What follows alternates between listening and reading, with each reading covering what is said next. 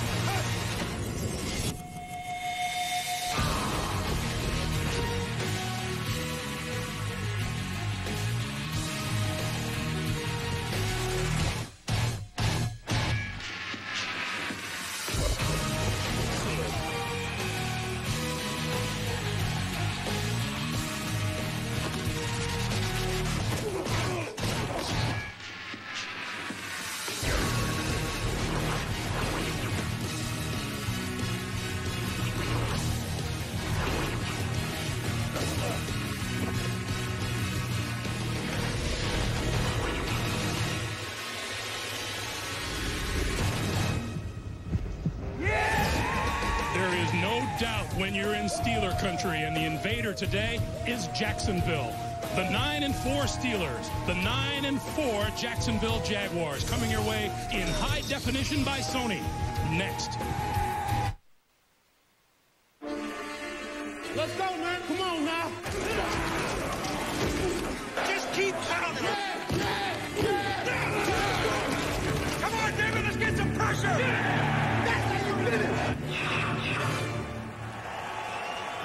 not just another game, and both these teams well aware of it. Welcome back to Heinz Field, everyone.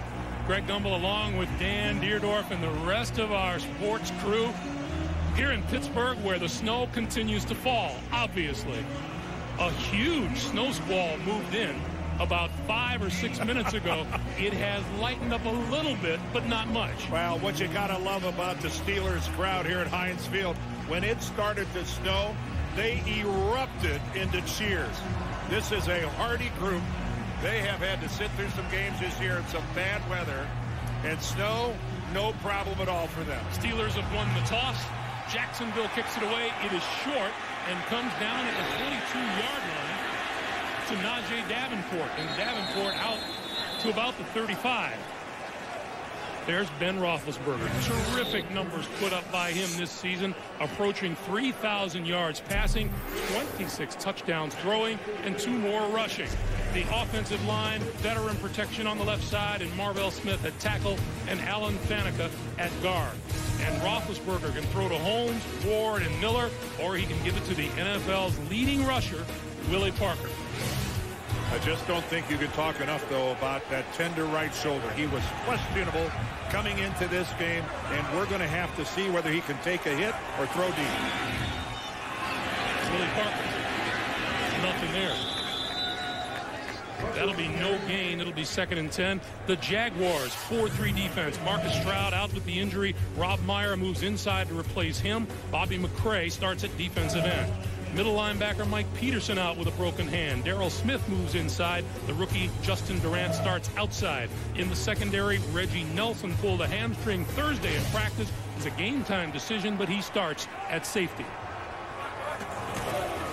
On second and 10, Parker tries the other way, and there's nothing there either. Justin Durant, number 56, the second round draft pick out of Hampton.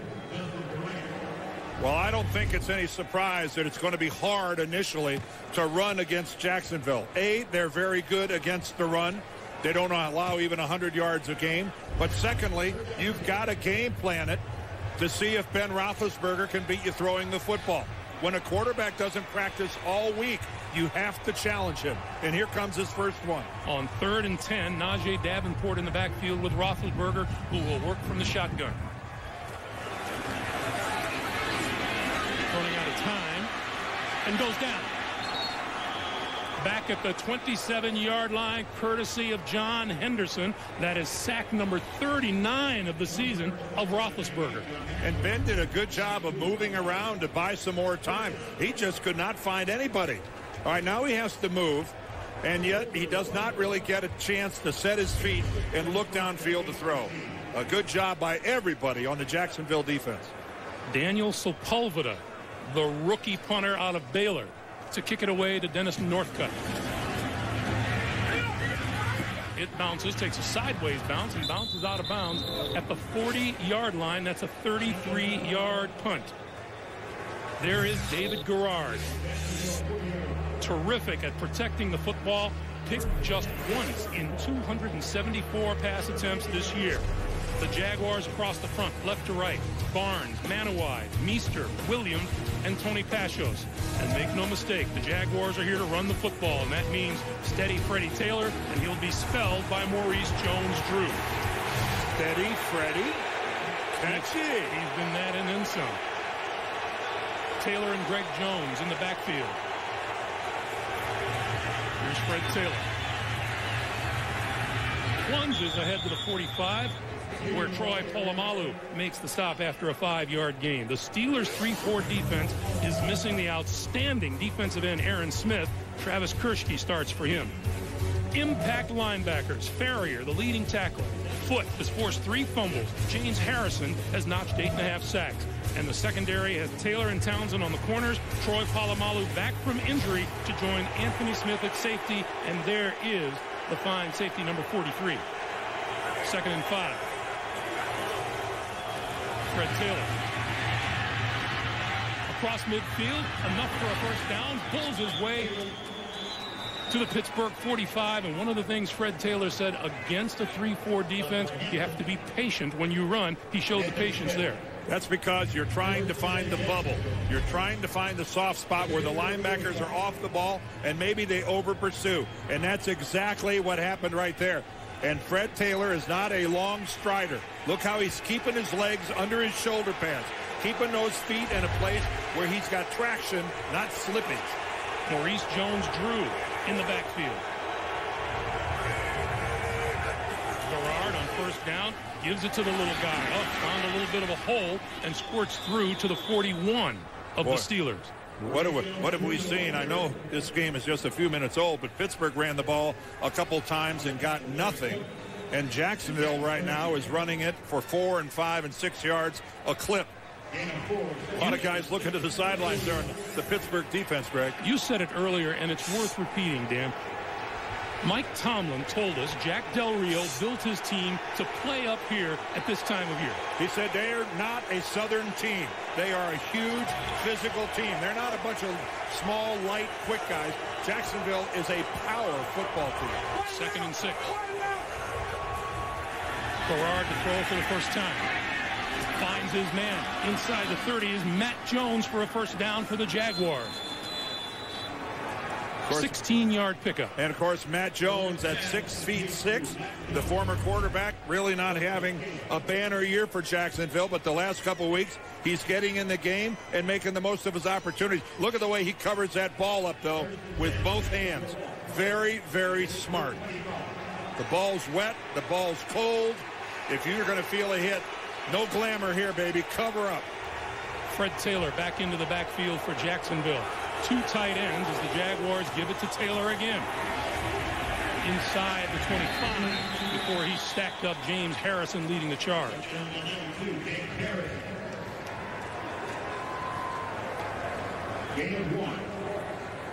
Well, this field, I think, is going to be a story all day long. We're going to follow it. That's the feet of Fred Taylor as he tries to cut back into the hole. I think the traction, by and large, right now is pretty good. They kept this field covered. It's pretty dry out there in the middle of the field. There's some sandy spots on the sidelines, but I think the middle of the field right now is holding up. For how long, we'll see. Second and eight. Here comes the blitz. That pass incomplete. Making the defensive play is number 26, Deshea Townsend. Well, Deshea Townsend does a good job of sitting all over this pattern because he knows the blitz is on and he knows that the ball's coming out in a hurry. That's where a cornerback can really take a chance and gamble when he knows the blitz is on. Now, Garrard facing the first third down of this drive. He is the NFL's number one passer in third down situations. But he doesn't want a sack here because that could make a field goal really difficult. Whatever you do, don't get sacked. Garrard with time. Throw. That's complete.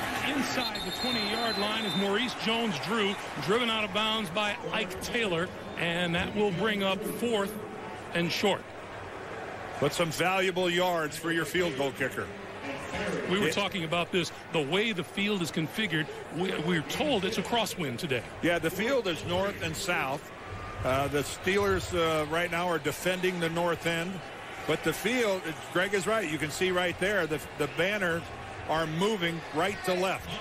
So we'll see if Scobee plays it that way. Scobee, 11 of 12 in the field goal department this season. This is a 36-yard attempt.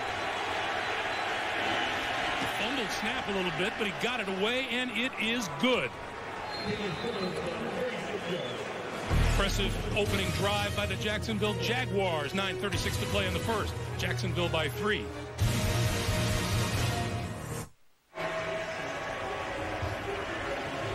At Heinz Field. There's Jacksonville scoring drive, doing what you know Jack Del Rio wanted them to do. Come in and get on the board first. They lead it 3 nothing, and the ball blows off the tee. And, you know, David Garrard had a couple completions in there, but they ran the ball very well. You love to get off to a start where your offensive line gets to run for a couple first downs. A lot of confidence comes out of that. Here's Allen Rossum awaiting the kick. This is Rossum from the 15. And met hard at the 30-yard line and driven down. Well, Jacksonville has the lead, and a lot of it because Adam Podlesh, the holder, look at that. Great job by the rookie of setting it up for Scobee, who gives Jacksonville the lead.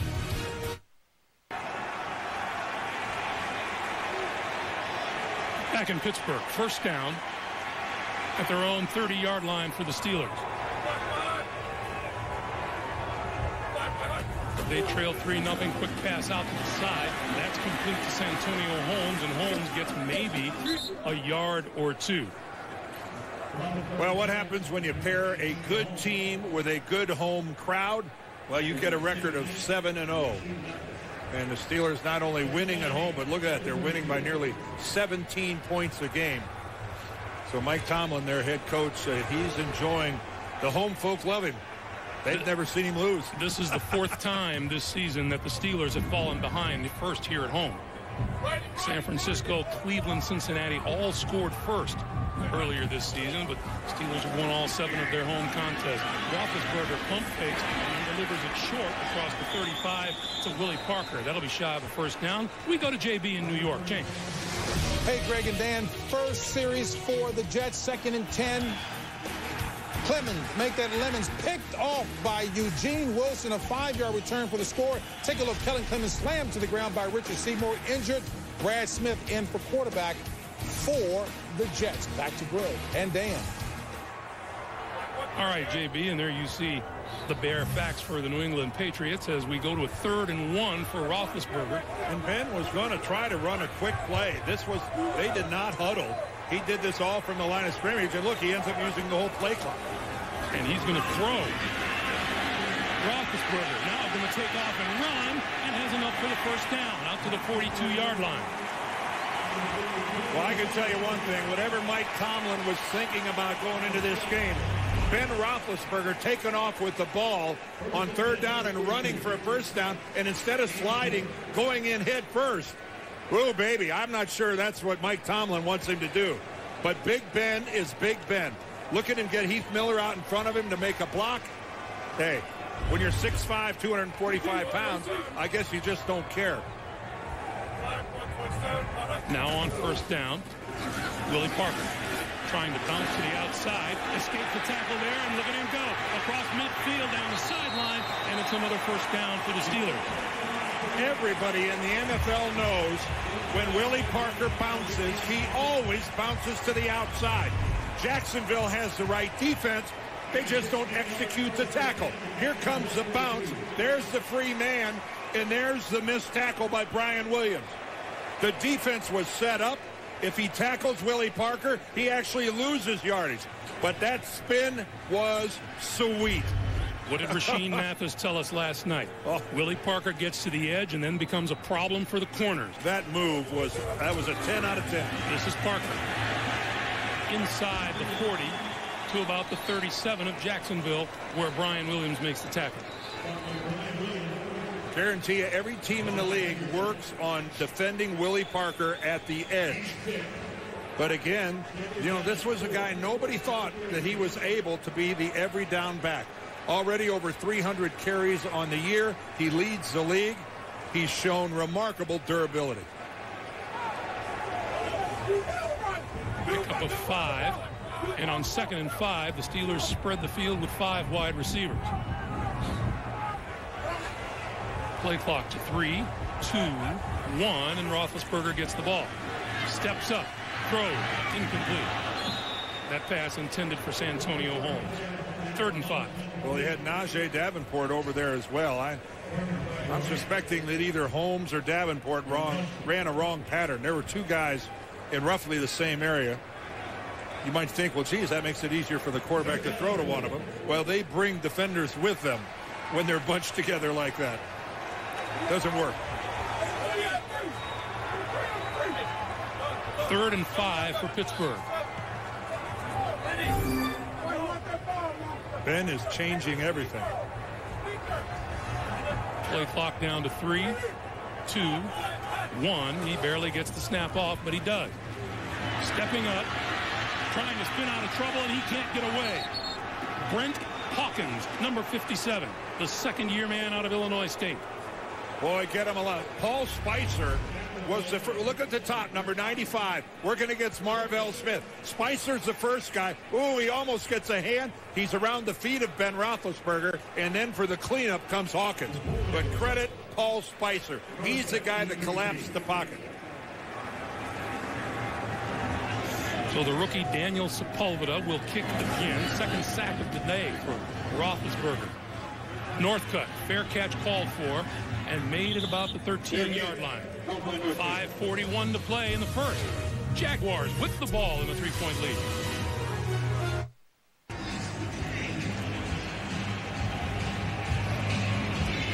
I was amazed at how this crowd just erupted into a roar when that big snow shower hit here. Yeah, much much much the way I did. Oh, yeah.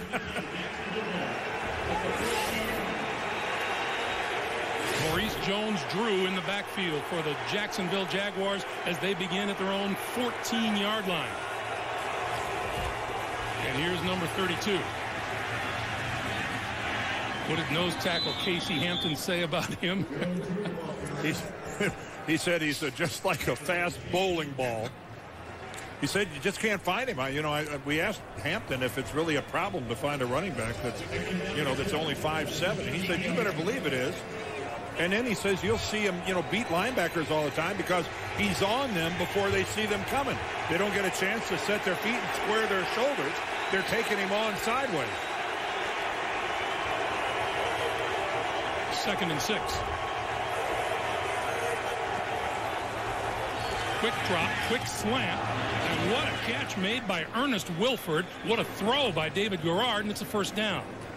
Boy, that's a chance for a receiver to show his toughness. On that slant, you know you're going to get hit. You know the ball's in tight quarters. And you talk about where 100% concentration is needed. That's a good display of it right there. Wilford to the sideline along with Maurice Jones-Drew. Fred Taylor back in.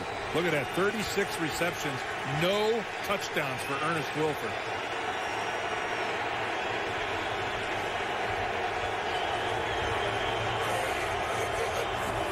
On first down, it's Taylor. Straight ahead, and a penalty marker flies our first flag of the day. Gene Steratore is our official.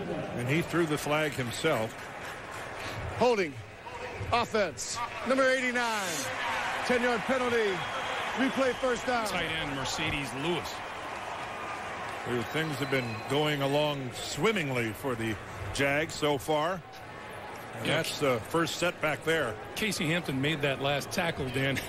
Pretty funny. He was telling us he at last he feels he's going to get a chance to play football today because last week all he did was spend wasting time chasing Tom Brady. Well, Tom Brady and the Patriots are, are, are in the spread formation all day. They don't run the ball at all. I mean, he really, he, he could put towels on his shoulders instead of shoulder pads. He didn't even need them. First and 20. Garrard throwing near sideline, and that's incomplete, intended for Matt Jones, or at least Jones is the closest to it.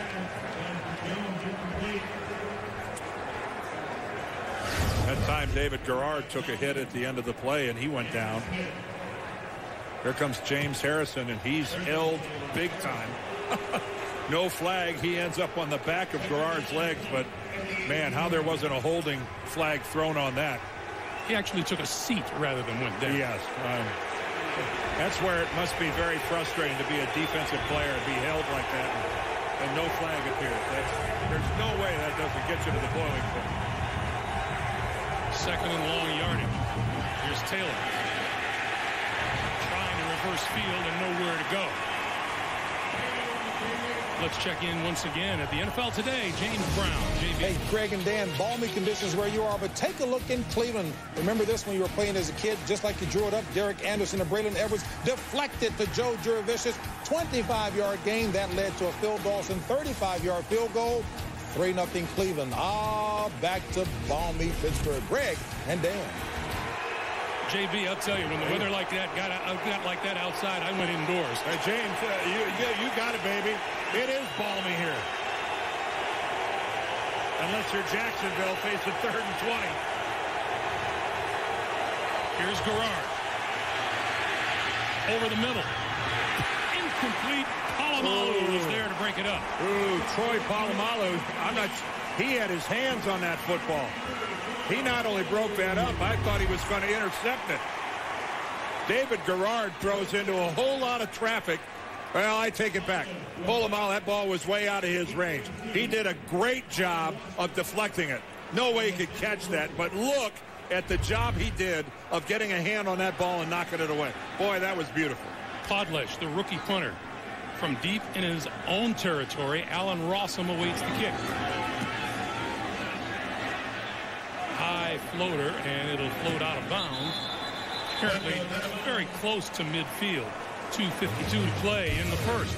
35-yard punt, 3-0 Jags. Hey, you know, at NFL.com slash super ad, you can watch NFL players tell their personal stories and help decide what will be this year's NFL Super Bowl commercial. NFL.com slash super ad. Pretty good position for Roethlisberger and the Steelers at midfield. Their first two possessions, 16 total yards. Roethlisberger, play fake, on the run now. Hit as he got rid of it. Santonio Holmes is deep and it's incomplete. And Ben got buried. Oh, boy. And he's coming out. Is he coming out or is he just coming over to talk? Watch at the end of this play. Ben can't find anybody from behind. And again lands right on that right shoulder. Landri drives him into the ground. And Ben is back in the huddle. Man, he went, ran over to the sidelines, had a quick consultation, and right back in. 2.44 to play in the first. Second and 10. Quick drop this time, quick slant, and making the diving catch is Santonio Holmes. He'll be about two yards or so shy of a first down. You know, Holmes kept rolling after the catch, and that was smart. He kept rolling until he was touched. That's the kind of wind we're dealing with. And you can see how it moves. But watch Holmes here at the end of this. You know, until you're touched, the play's not over. That's very smart of him to keep moving. He picked up another two yards on the roll. So now third and two, and Najeh Davenport checks into the Pittsburgh backfield. Not in the last five games have the Steelers registered a touchdown in the first quarter. Well, they've only been averaging about two touchdowns a game in those last four games. They're in a bit of a scoring drought. Third and two. Roethlisberger over the middle incomplete. Santonio Holmes. Roethlisberger, he expected him to get there a little sooner yeah, than he, he did. He was expecting Holmes to break that off into the middle earlier than he did. Ben was throwing to a spot. He thought Holmes was going to be there. Holmes rounded it off and went deeper.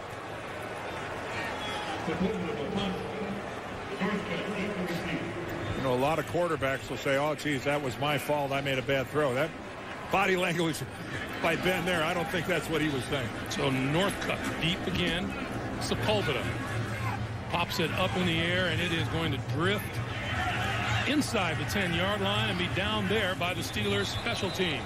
A minute 38 to play, and so far Ben Roethlisberger a little frustrated by a stout Jacksonville defense. A Minute 38 to play in the first quarter here at Snowy Heinz Field. And the Steeler faithful looking for their defense to do something with their field position. Jacksonville starts from its own nine-yard line.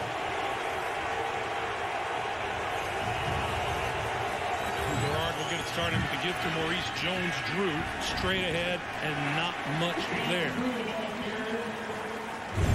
Well, Ben Roethlisberger has had, I think, a little more active of a first quarter than he was looking for. Been under pressure. There's the, the first sack of the game.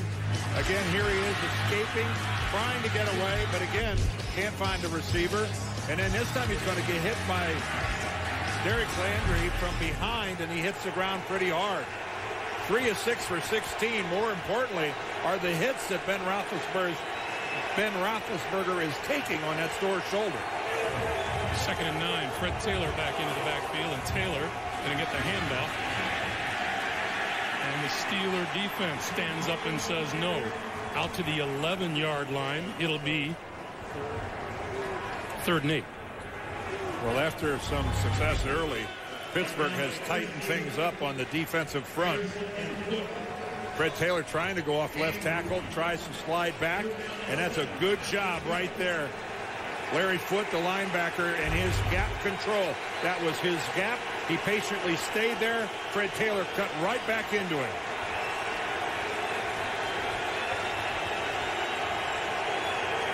We're in the final 17 seconds of the first quarter. Third and eight. Garrard with good protection, and now he's on the move. 15. To the 19-yard line and close to a first down. Troy oh, Polamalu what a stop. What a play by Polamalu. I thought David Garrard was going to pick up the first down easily. That's the end of the first quarter. Measurement coming up. 3-0 Jacksonville. You're watching the NFL on CBS.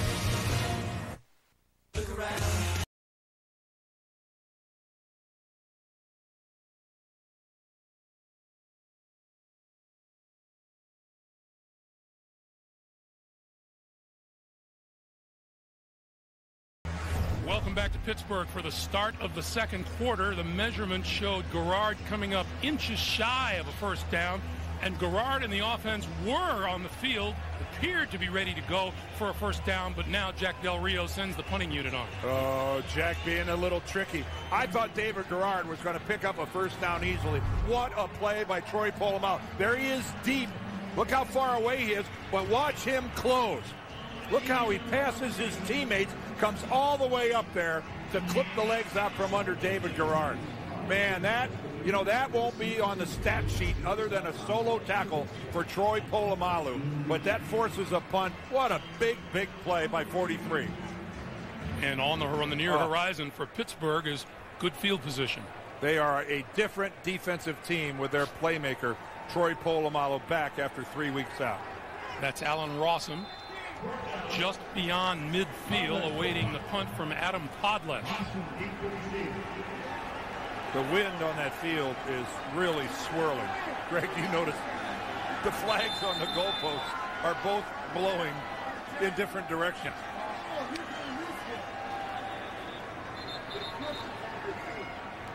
Now Gene Steratore is uh, bringing things to a halt. Looks like you're getting the chains yeah. all set. I think the, the, the chain crew on the sideline had some trouble moving from one end of the field to the other. You got to have them on both sides. They're looks like they're finally getting organized. Oops. You mentioned it earlier. We saw a shot of Jack Del Rio over there on the sideline. He said there's a certain mentality you have to bring to a game against the Pittsburgh Steelers, and he called it the two chin strap mentality. Darn right. Bring an extra one because the hitting's going to be so hard. Your first one's liable to get broken. And he's not kidding. They do snap. High snap. Just got it away, but it's not much of a kick at all. And the Steelers are going to come out of this with great field position.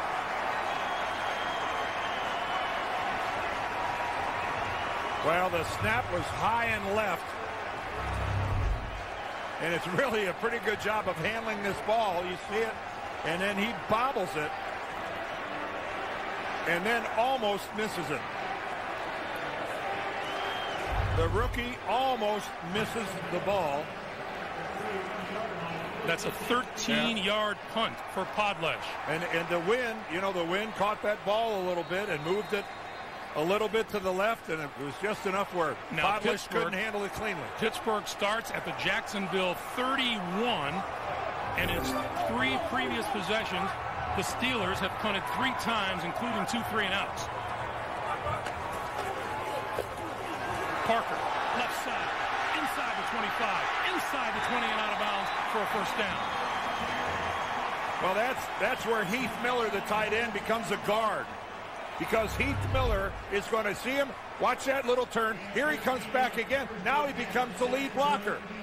He looks like Jerry Kramer coming around the corner, being a, a lead guard. That's a really interesting way of doing it. He comes around and gets a hit on Daryl Smith enough that he can't get Willie Parker. Good job there by Heath Miller.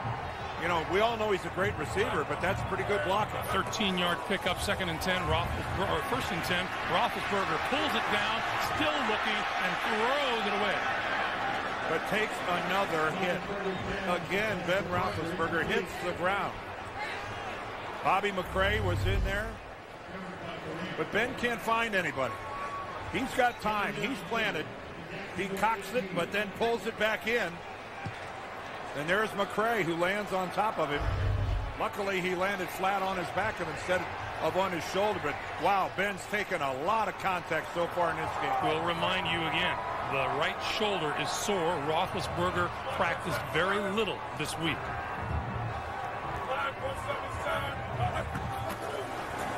On second and 10, pass to the sideline is incomplete. That pass intended for Nate Washington. Roethlisberger now three out of eight throwing the football for 16 yards. Well, I think there was some underneath coverage by the Jacksonville Jaguars that forced Ben to have to throw that ball way to the outside.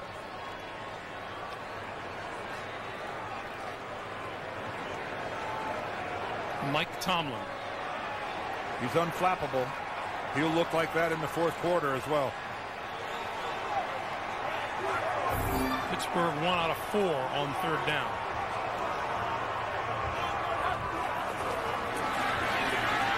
Throwing over the middle inside the five. Touchdown to Heath Miller.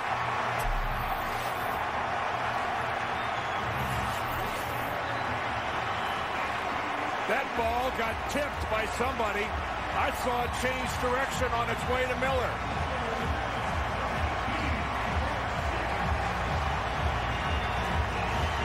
Uh, it sure looked like somebody touched that football. Let's watch it from behind. Right there. Brent Hawkins actually hits the football, and somehow it continues on to Heath Miller. Oh, wow. Talk about bad luck for Jacksonville. You don't see that every day. Jeff Reed for the extra point attempt. The penalty markers are down. This is going to be a false start against Pittsburgh.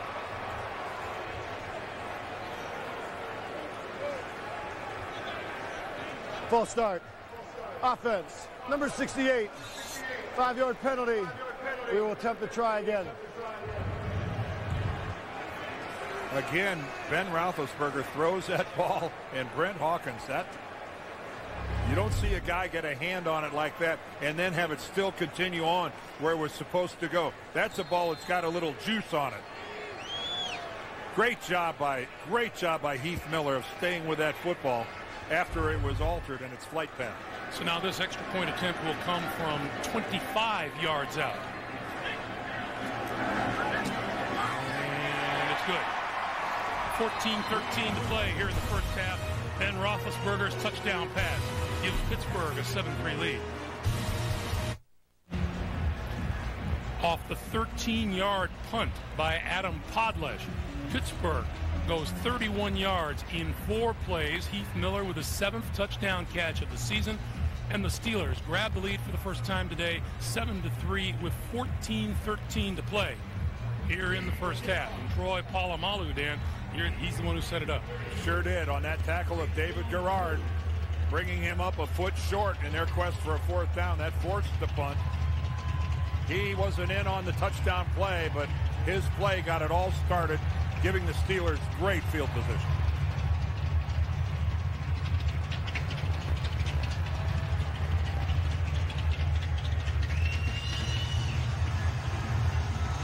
Maurice Jones-Drew back at his own 10-yard line. It'll bounce, go into the end zone for the touchback. And so Jacksonville will go on the offense, trailing for the first time today at 7 to 3. Back to Pittsburgh after this.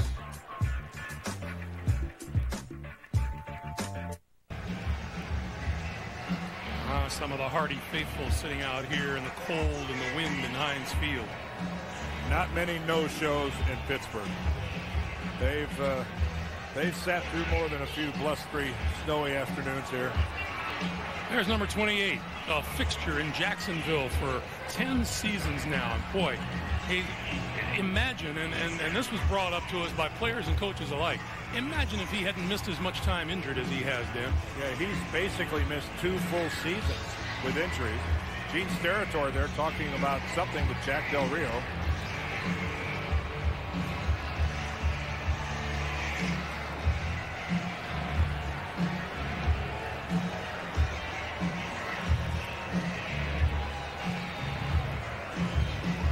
Something going on with the communications systems with the Jaguars, with the coaches' headsets. Now Gene is coming over to talk to the Pittsburgh sideline. If one team loses theirs, they make the other team stop using theirs to equal it out. So while Gene Steratore and Mike Tomlin discuss the matter, we go to JB in New York. James. Hey, Greg and Dan, non-verbal miscommunication here as a snapper for Buffalo. Ryan Nills sends the ball flying over the head of punter Brian Moorman, kicks it out of the end zone for the safety. 5-0 baseball score, Cleveland on top of Buffalo. Greg Gumbel, Dan Dierdorf. All right, JB, and look at the wild card picture. Boy, how good a job has Romeo Crennel and his staff done this year? Well, it's finally come together in his third year, and boy, he was taking a lot of heat at the beginning of this season. And you're right, it's nice to see it pay off. So Gene Steratore is satisfied. Apparently, so is Mike Tomlin. Well, maybe things are back working on the Jacksonville sideline. So Jacksonville first down their own 20-yard line.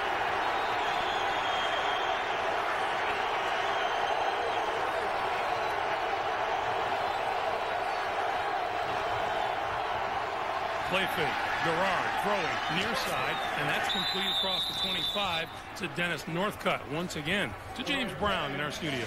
Greg and Dan, Kansas City is eliminated from the playoffs, but the Chiefs have won four of the last five with Tennessee. Here, Brodie Croyle hooking up with Samie Parker. Nice reverse move. Good hustle to tie it up against Tennessee at seven back in the second. Back to Greg and Dan. Tennessee desperately trying to stay alive. Meanwhile, there's a picture of the AFC West where San Diego leads the way at 8 and 5.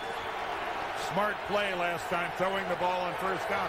Look at the top. There's Polamalu right up on the line of scrimmage. This is Taylor. Taylor off to the races. Midfield. 40 shoved out of bounds at about the 35-yard line by Anthony Smith. And Fred Taylor and the Jags run right at Troy Polamalu, even though he's on the line of scrimmage. Talk about the eighth guy in the box, but he's going to get blocked. He comes in, and he really gets picked off by Ernest Wilford, a wide receiver. And then Anthony Smith has his hands full, literally, has his hands full of Fred Taylor. 55 yards on the day for Taylor. Maurice Jones-Drew into the lineup now. First down at the Pittsburgh 35. Garrard looking for a receiver. Tipped in, almost intercepted. Larry Foote. Larry Foote got a hand on it. Yes, he did. David Garrard starts looking a little left, but then really focuses on the right half of the field.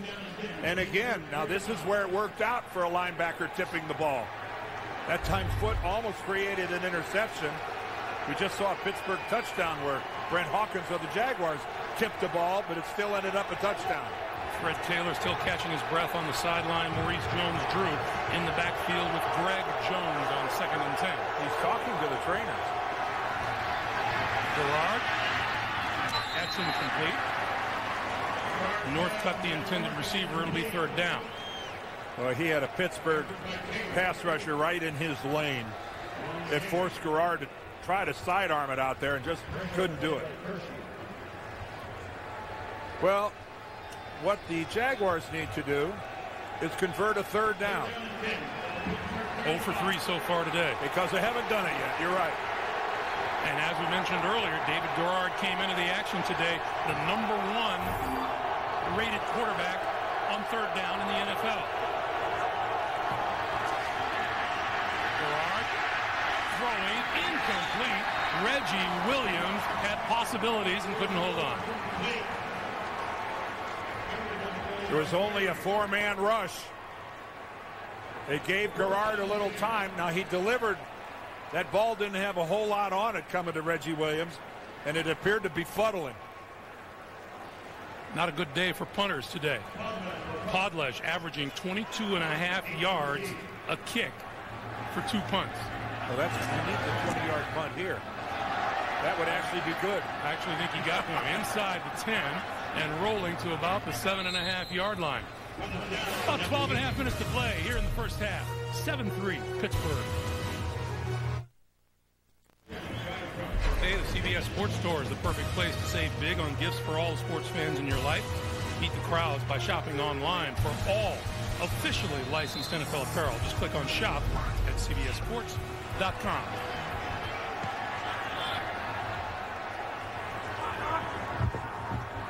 Quick pass out here to the side to Hines Ward, and Hines Ward hit hard as he reached the 11-yard line by Justin Durant. Durant pressed into service because Daryl Smith, who usually plays outside, is playing middle linebacker in place of the injured Mike Peterson. And that's Hines Ward. That's his first catch of the day. First time he's gotten involved in the offense. Remember last time that Jacksonville had poor field position. Pittsburgh parlayed it into a touchdown. Let's see if Jacksonville can force a three and out from the Steelers. Second and eight. Willie Parker, right side. Running room. First down close to the 20-yard line. Boy, again, Willie Parker gets to the edge and exploits it. Aims at right tackle, but then he's got some really good blocks. Matt Spaeth, the tight end, really got the block, the seal to the inside that Parker took advantage of by cutting it outside. Man, when Fast Willie gets on the edge, that that frightens defensive coordinators. What do you remember last night? He's talking about who has helped him become a total, complete football player? Jerome Bettis. He's talking about on and off the field. On first down, Parker again. To about the 20. Well, Jerome was quite an influence on, on, on Willie Parker. And, and why not? If you're a rookie and you get an opportunity to not only be a teammate but play the same position as a Hall of Fame guy like Jerome Bettis. And anyone who's ever met Jerome Bettis knows what an outgoing, you know, absolutely gregarious guy he is. I, at least Willie Parker, I give him a lot of credit for. I give him credit for realizing how fortunate he was. Roethlisberger looking at a second and 10 as the snow continues to swirl. On the move. From behind has the ball free. Looked like he fell on it. Paul Spicer was in on Roethlisberger. Ooh, lucky break. Lucky break for the Steelers. And you're right, Spicer from behind. Ben doesn't know he's coming. He's going to come from the left and he's intentionally going to go for the strip. There it goes. Boy, look at that tomahawk come right down on the football, and what a fortunate bounce right back to Ben. How anxious was Paul Spicer oh, oh. to play this game? Oh, oh, he said, it's going to be tough, it's going to be physical, I'm going to love it. He said, I love playing Pittsburgh. Now a third and 15 facing Roethlisberger going to give to Davenport. And Davenport trying to find running room and bought down at the 10 by Sammy Knight, the 11th year veteran safety. Boy, the crowd booing. I, I guess they're booing the call. I guess they wanted Ben to put it in the air. But now it's going to be Jacksonville's turn to see if they can get some decent field position. They sure haven't done much today. They do have one field goal, but they've had some good field position opportunities before and got nothing from it. Now, instead of trying to dunk one inside a 20-yard line, Sepulveda is going to see if he can get some yardage out of his own end zone. Line drive kick and not bad. Backs Northcutt up, eludes one tackler, picking up some blocking, and still on his feet. Cuts it back out across the 40 to about the 43-yard line. A very nice return by Dennis Northcutt. 9.08 to play in the first half. Jacksonville on offense. As promised, snow here in Pittsburgh. 9.08 to play in the first half. The score reflecting the conditions. 7-3 Steelers.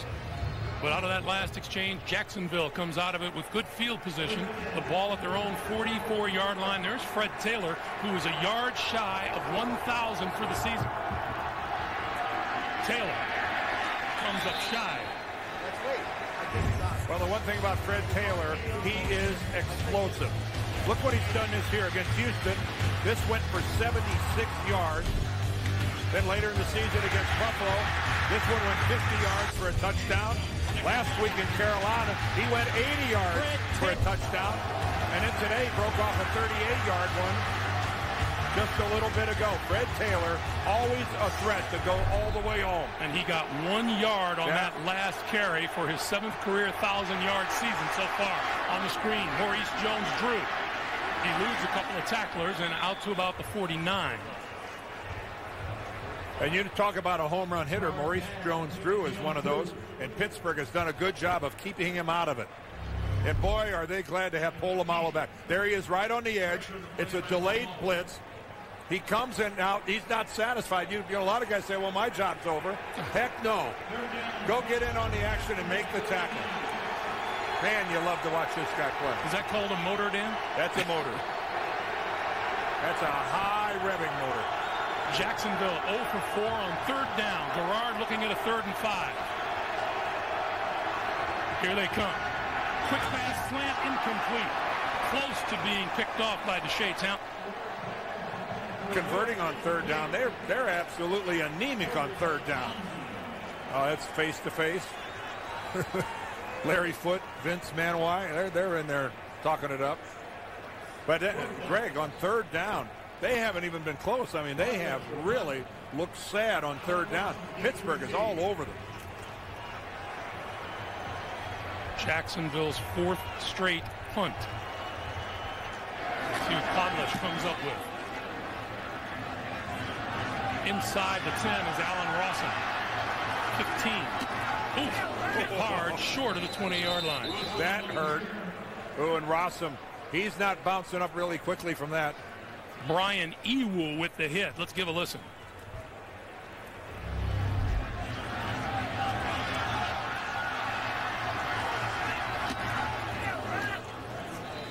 Ow. That hurt. So from the 19-yard line, Roethlisberger works and gives to Parker. Escaped one tackler, and here's a penalty marker flying in.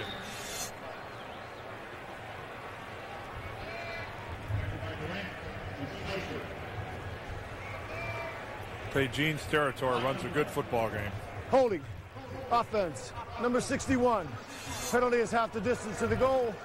Replay first down. We saw Gene Steratore before the game. I said, I said, keep warm out there. He said, I noticed you didn't say keep, don't to keep dry. No chance of that. Sean Mahan, the center, the guy that Gene flagged for holding. And boy, you really, in your own end of the field, backed up to your own goal line. Penalties are not good. now Roethlisberger looking at a first and 19. Seven guys up front for Jacksonville. Parker. Nice cut across the 15 out to about the 17 or 18 yard line. Brian Williams and Terry Cousin combining for the tackle. He's going to get a hole, and it's Brian Williams, I think, the main factor in bringing him down right there. That's Brian Williams, who comes in right here and cuts the legs out from underneath Willie Parker. That was close to being an explosion for Parker. Jacksonville was very close to finding out why they call him Fast Willie. Second and 12.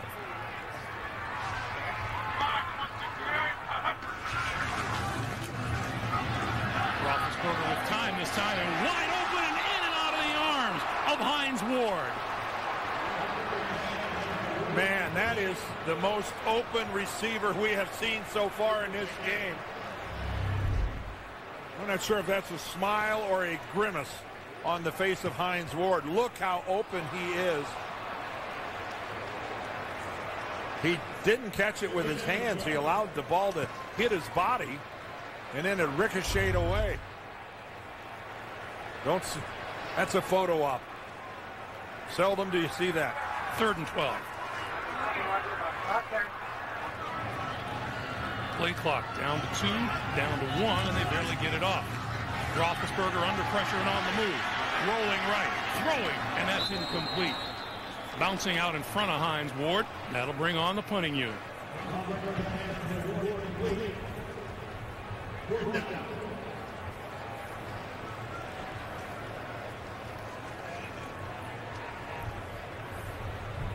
Pretty good defensive stand by the Jaguars, aided by a Ward drop. Roethlisberger now 5 out of 12 for 38 yards. Sepulveda to kick. Dennis Northcutt back at his own 35. Good kick by the rookie. Northcutt. Can't lose that first tackler, and he's down at the 31-yard line. William Gay, the rookie out of Louisville, making the special teams play. Well, there's David Garrard. What he's done today, like Ben, he's not anywhere near 50%. And David Garrard, the different, he is the starter this year. He is the man. As Greg said earlier, Jack Del Rio anointed him in training camp. Last year, look at that, only one more touchdown than interception this year. It's that's that's good stuff. Again, he missed three games with an ankle injury. The ankle's not a factor at all now. On first down, Garrard to throw near side. That's complete to Northcutt.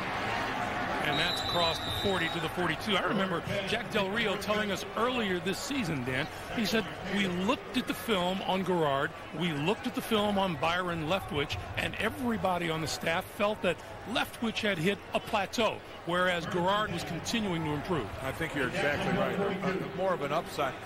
There's a huge difference in the mobility factor. David Garrard can move around, actually run with the ball. Byron Leftwich is a statue. I mean, he is a pocket passer, and he is not a guy that's effective at all on the move. On first down, Maurice Jones-Drew across the 45, close to the 47-yard line. Casey Hampton getting getting a little of that action that he was looking for. Well, the bowling ball gets a chance to roll through the Steelers. Five feet seven. Actually, his nickname with the Jags is Mighty Mouse but not a whole lot of uh, no, not a whole lot of room in there. Of course, I really enjoyed Casey Hampton calling him a bowling ball. I mean, if Casey Hampton was two inches shorter, he'd be perfectly round. So I, but I didn't, but I didn't tell him that.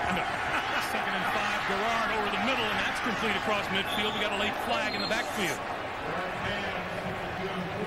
Pass was complete to Maurice Jones-Drew, and James Farrior made the stop. Here's Gene Steratore. Personal foul. Roughing the passer. Number 53. Contact with the quarterback below the knee. 15-yard penalty out of the end of the run. First down. Clark Haggans guilty of the penalty that's going to move the ball a pretty good distance for Jacksonville. All right, the quarterback is protected below the waist if you've got a clear run at him.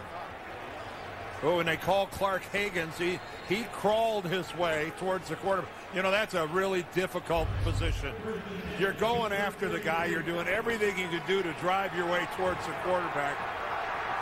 That's that is not where I think Clark Haggans intentionally tried to hit the knee. Here's Maurice to about the 30. Does that make sense, Greg? Well, I mean, sure, because what you're saying is the guy's got to get off the ground Right. in order to hit the quarterback. I mean, he's down on all fours. He's just really clawing after him. The play is still alive, and it's, yes, he did hit him in the knees, but I, I don't think he intentionally tried to do it. I think he was going after a quarterback trying to get a sack. Seems to me at best what the defender can do is just reach out and grab with his hands. You know, that's, you know, that's asking a lot when you're going 100 percent. Fred Taylor back in, second and seven.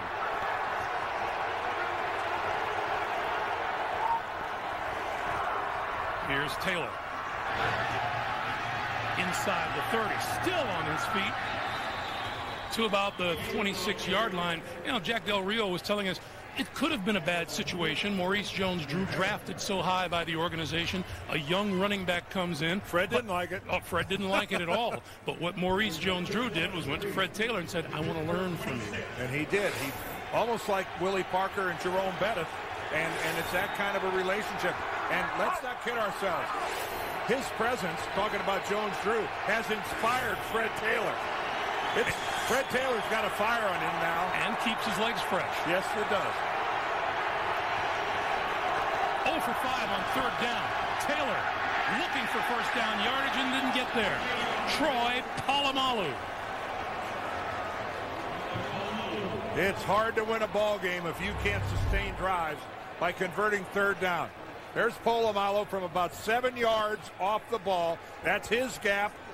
And man, that's how you fill it. And on fourth down, the Jacksonville offense is still on the field. Fourth and one. Jacksonville, the number two rushing team in the National Football League. On And- fourth and one. And this is actually fourth and about, it's almost one and three quarters. Maurice Jones-Drew bounces on his feet, has the first down to the 22. This crowd, this crowd thought they had him pinned.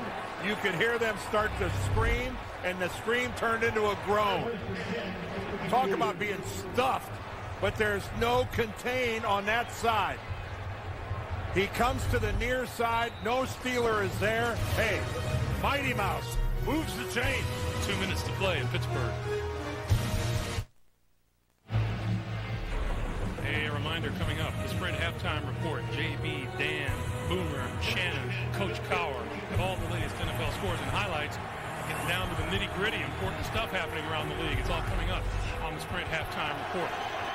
Seven plays, 46 yards for Jacksonville on this drive. They're in the nitty gritty right now, too. This is Till. To about the 17. Polamalu and Larry Foote. Boy, Troy Polamalu, what a welcome back addition he is to this Pittsburgh defense.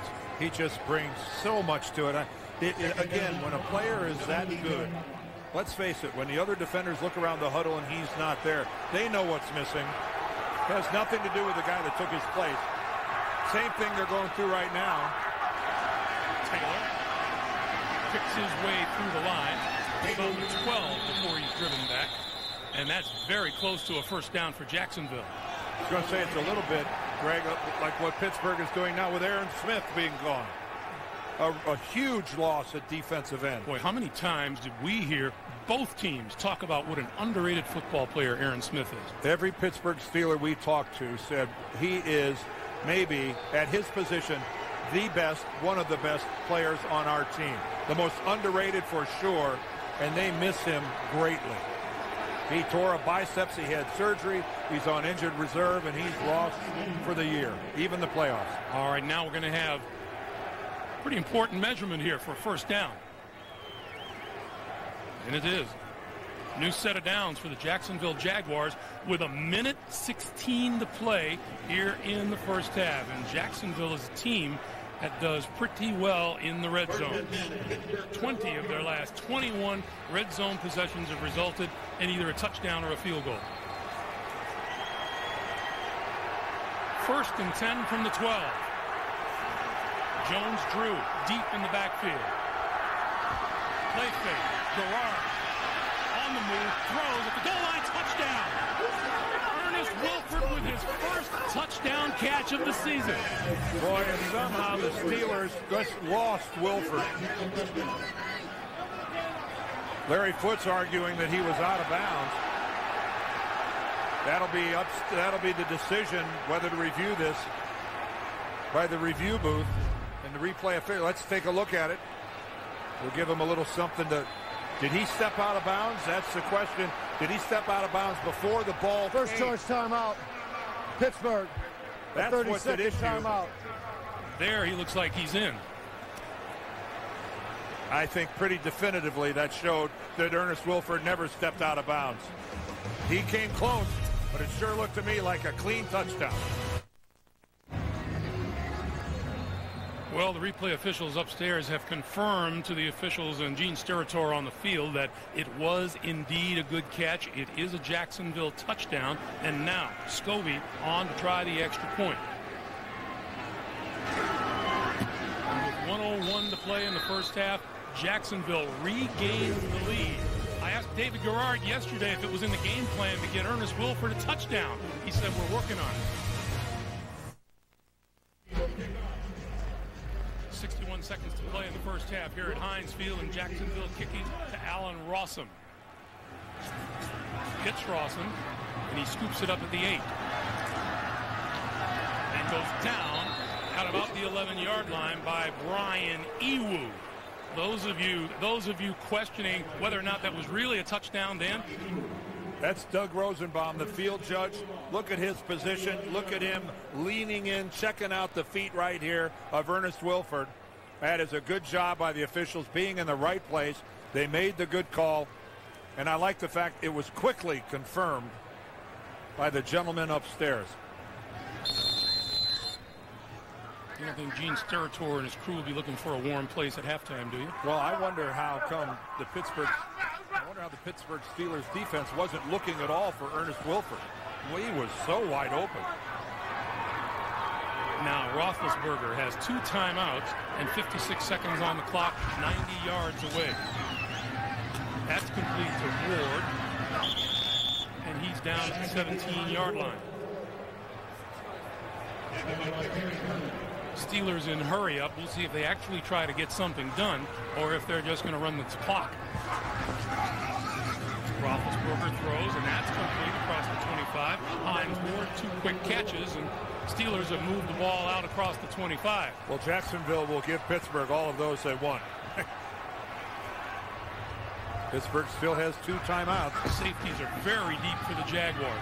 Roethlisberger throws, and Davenport out of the backfield. He's up to the 30-yard line, and Roethlisberger calls time, stopping the clock. 13 seconds to play in the first half. Back to Heinz Field in a moment. They've made an adjustment to the clock. There are 15 seconds remaining, and Pittsburgh with one timeout remaining as they operate now from their own 30. Three receivers down here at the bottom.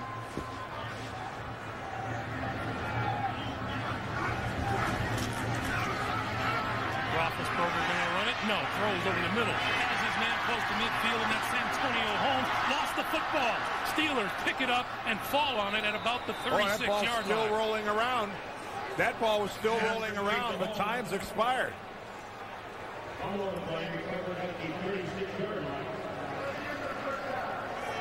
So we have come to the end of a very defensive-oriented first half. Jacksonville with a late drive, 10-7 lead. We're back with the Sprint halftime report after this message and a word from the local station. This is the NFL on CBS. We're at halftime in Pittsburgh, 10-7 Jaguars. We're back after this message and a word from your local station. You're watching the NFL on CBS.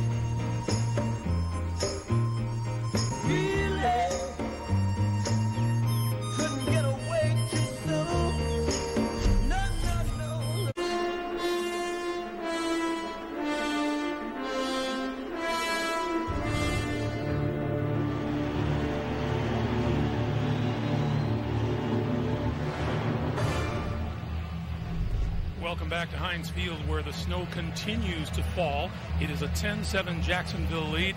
Greg Gumbel along with Dan Dierdorf. This score may surprise some folks around the lead, but listen to these two very interesting bits of information. Jacksonville, the league's 27th best pass defense, has allowed Pittsburgh 40 yards throwing the ball today, and Pittsburgh allows less than 73 yards rushing a game. Jacksonville already has 98 on the ground. Yeah, I think that tells you that Jacksonville has brought a very physical game to Heinz Field. They are going toe to toe with Pittsburgh, and right now they're winning. They've sacked Ben Roethlisberger three times, and they forced Pittsburgh into run and into passing the ball so much more than running. Pittsburgh has rushed it 10 times and thrown it 19. That's not the way the Steelers play football. No, it's unusual that, that, that they have actually gone away from what they usually do. I would think we'll at least see them try to run the football again early in the second half. Yo, they've got to try, Greg, but I think in the first half, the battle at the line of scrimmage was won by the Jacksonville Jaguars. All right, let's take a look at some halftime numbers and see what stands out to you. Rushing yards, Jacksonville in the lead. Total yards, Jacksonville in the lead. Time of possession as well. But the the, uh, the, the Here we are encouraging right thing here. for the Steelers is that they're only down three. Exactly right. And uh, uh, the one thing, though, for Jacksonville, it, it's remarkable that they're in the lead considering they have yet to convert a third down. Second half coming your way in high definition here on CBS. I'll say one thing, Greg. Uh, the field has held up pretty well. We have not seen a lot of slipping and sliding. And so far, kudos to the Steelers and their grounds crew for getting this thing. I know it doesn't look like much, but we have not seen guys planting and having big chunks of turf come up. You come also, up. you also look for inclement weather turnovers. There hasn't been a turnover by his team this uh, this afternoon. We almost had one on the last play of the first half. Santonio, Santonio Holmes fumbled that ball, and there was a scramble for it, but it didn't matter who recovered. Well, you Time remember, expired. You remember ball bounced right back to Ben Roethlisberger in the first half as well. Yeah, good point there after Paul Spicer knocked it loose. Fred Taylor. What have we been calling him the last couple of days? The best football player never to have made the Pro Bowl. It is shocking. You know, Fred Taylor played three or four more years, which would be some accomplishment, but added another couple thousand dollars to his, I mean, a couple thousand yards as we look at that graphic. Fred's not playing for a couple thousand dollars. But if he added a couple thousand yards to his resume, Fred Taylor would be in that Hall of Fame range and never went to a Pro Bowl. That would be beyond belief. Maurice Jones-Drew deep. Jacksonville will get the football first here in the second half. Jones-Drew on the run at the eight. Little wedge in front of him. Escape the grab of Marquis Cooper. You know, Greg was talking about Freddie Taylor. I, I, look at some of the years he's had. Back in 2003, almost 1,600 yards. 2000, almost 1,400. But look at the touchdowns. You know, 12 in 2000, 14 of them in the 1998. And none of those seasons was good enough to earn him a Pro Bowl nod here in the AFC. Well, he suffers from playing in the small market town Yeah. of Jacksonville where he doesn't get quite the pub as others do. Yeah, never played in a Super Bowl or any of those things. Yeah, that- makes a difference.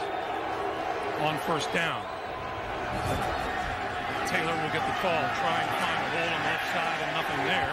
Casey Hampton. That looked like the Steelers were in the huddle of Jacksonville. Did you see them come up to the line of scrimmage? They overloaded the right side of their defense, and Jacksonville couldn't get out of the play and ran right into it. Look at them all up there. That's exactly where Jacksonville's going to run. Wow, that play is dead before it even gets started. Nice job by Casey Hampton going right down the line of scrimmage and making the play. Remember Casey Hampton talking about how he watches the Jacksonville center because Jacksonville pulls its center more than any other team. Yeah, he said Brad Meester really gets out and will lead plays. Second and nine. Play fake. Garrard running out of time. Spinning. Still on his feet. And looks and throws it away. Good job by David Garrard. And that's something, and, and, and I really liked Byron Leftwich. He's a good guy. But that's something the Leftwich incapable of doing. David Garrard saved the sack twice and was able to get out far enough to dump it away. That, that, that was some effort on his part. Casey Hampton. Now that's what a football player looks like, folks. David Garrard now trying to do something he hasn't done all day, and that's convert a third down. Jacksonville is 0 for 6 on third down. Maurice Jones-Drew in the backfield. He needs the 36-yard line for a first down. Garrard over the middle, got his man for a first down. Tight end Marcedes Lewis. Pittsburgh was faking a blitz, but ultimately only came with four guys. Take a look at that. You see that is really an unusual look. All four of them came from the other side, but right in that level between the linebackers and the safeties, Marcedes Lewis was able to get in there, and Garrard was able to feather it over the top of the linebackers and drop it in in front of the safety. How about Marcedes Lewis looking back over his right shoulder, then turning it up the field and catching it over the left? That's what first round draft choices are supposed to do. He was a number one last year. On first down now. Play fake to Taylor. Garrard with all kinds of time, and he's going to go deep. And overthrows Ernest Wilford.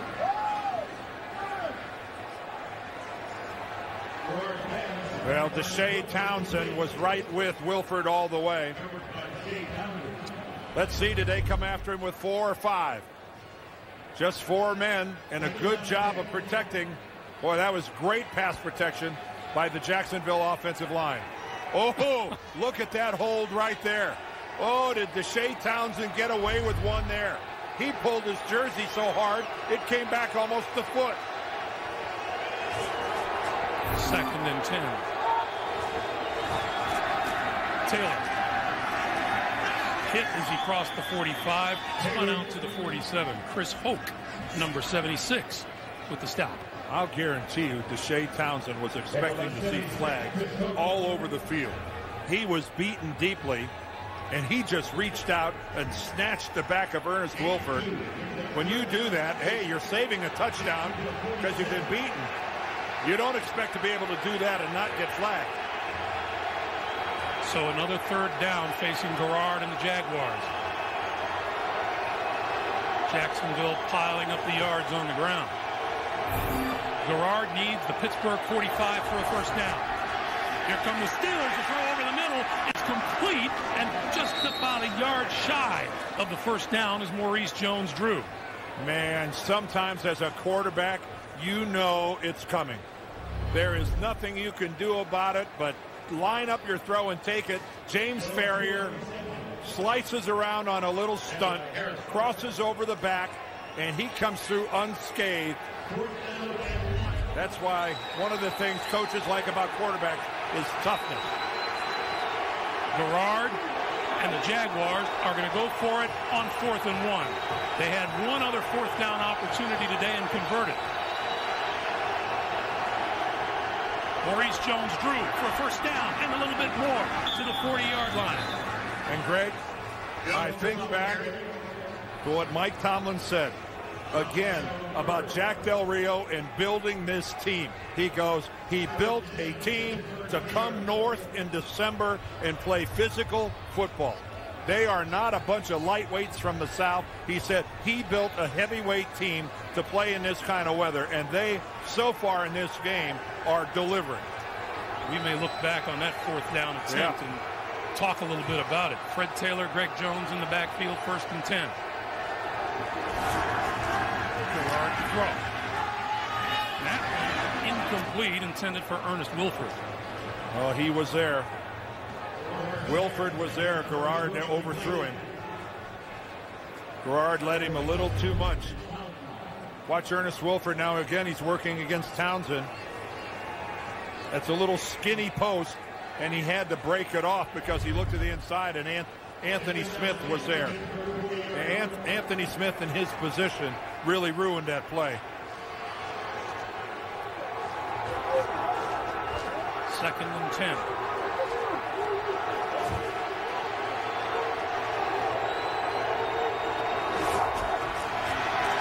Garrard has his man.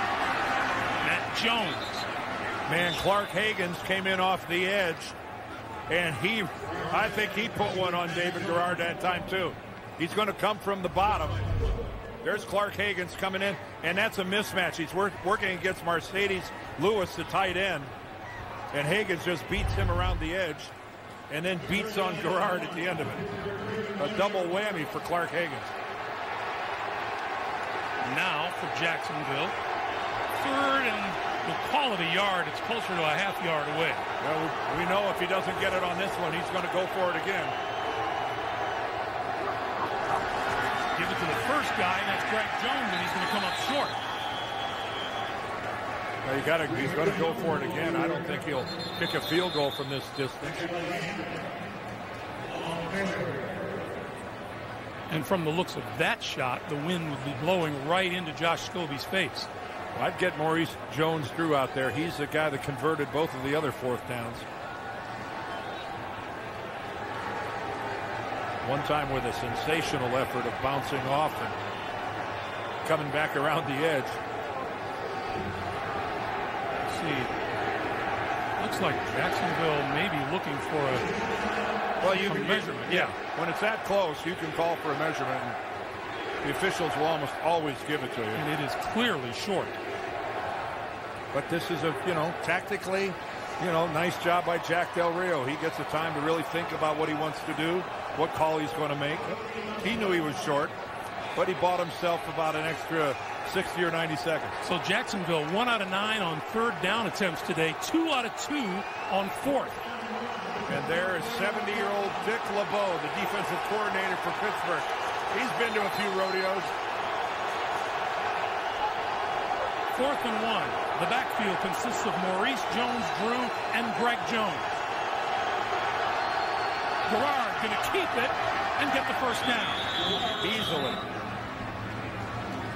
A nice change of pace. Yeah, look at Jack. That's that's what I like. winning it at the line of scrimmage. And right now, the Jacksonville offensive line is on their game. Look at this surge. Look at them blowing Kirschke back. That is that is an excellent piece of work by the guys in white. And you said it before, Dan, the Jacksonville offensive line is controlling this game so far. Yep, you're right. Fred Taylor back in. First down. Garrard to throw. Over the middle, and that comes up short and a little behind Marcedes Lewis. You know, one of the things I really like, even though their offensive line is so dominant, is that they're not afraid to throw the ball on first down. Now, that time ended up with an incompletion, and yeah, this is the downside of it. You're faced with a second and 10. But you put a defense back on its heels a little bit when you're unpredictable enough to the point where you're comfortable throwing on first down.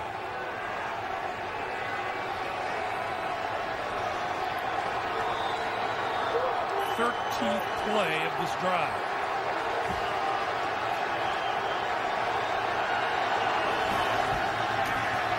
Garrard throwing, complete inside the 20. No, incomplete.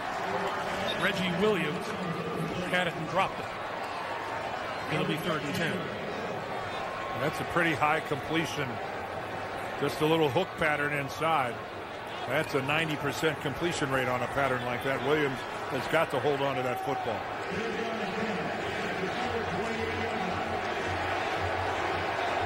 There are no gimmies in the field goal department here today. No, and it's starting to snow just a little bit heavier than it has been. Jacksonville has been woeful on third down, but they lead the game by three. On the draw, Maurice Jones-Drew inside the 20, inside the 15, to about the 11-yard line and a first down. Jones-Drew on the carry. Well, there's one for everybody that says, well, why in the heck do they run a draw play on third and 10? Everybody in the world knows that's what's coming. Well, you got to stop it. Right here, he's going to run through a tackle. He runs through two tackles, and then he drags McFadden all the way in. Look at Maurice Jones-Drew. Look at his feet.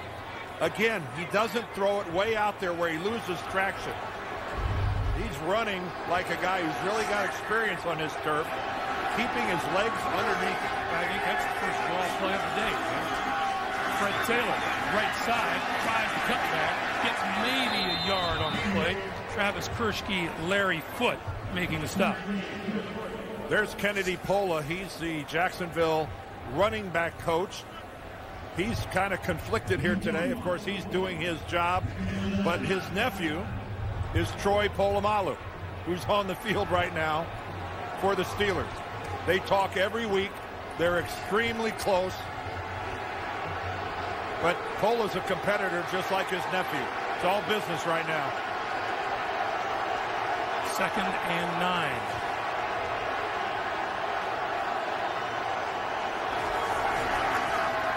Garrard throwing and bobbled and incomplete.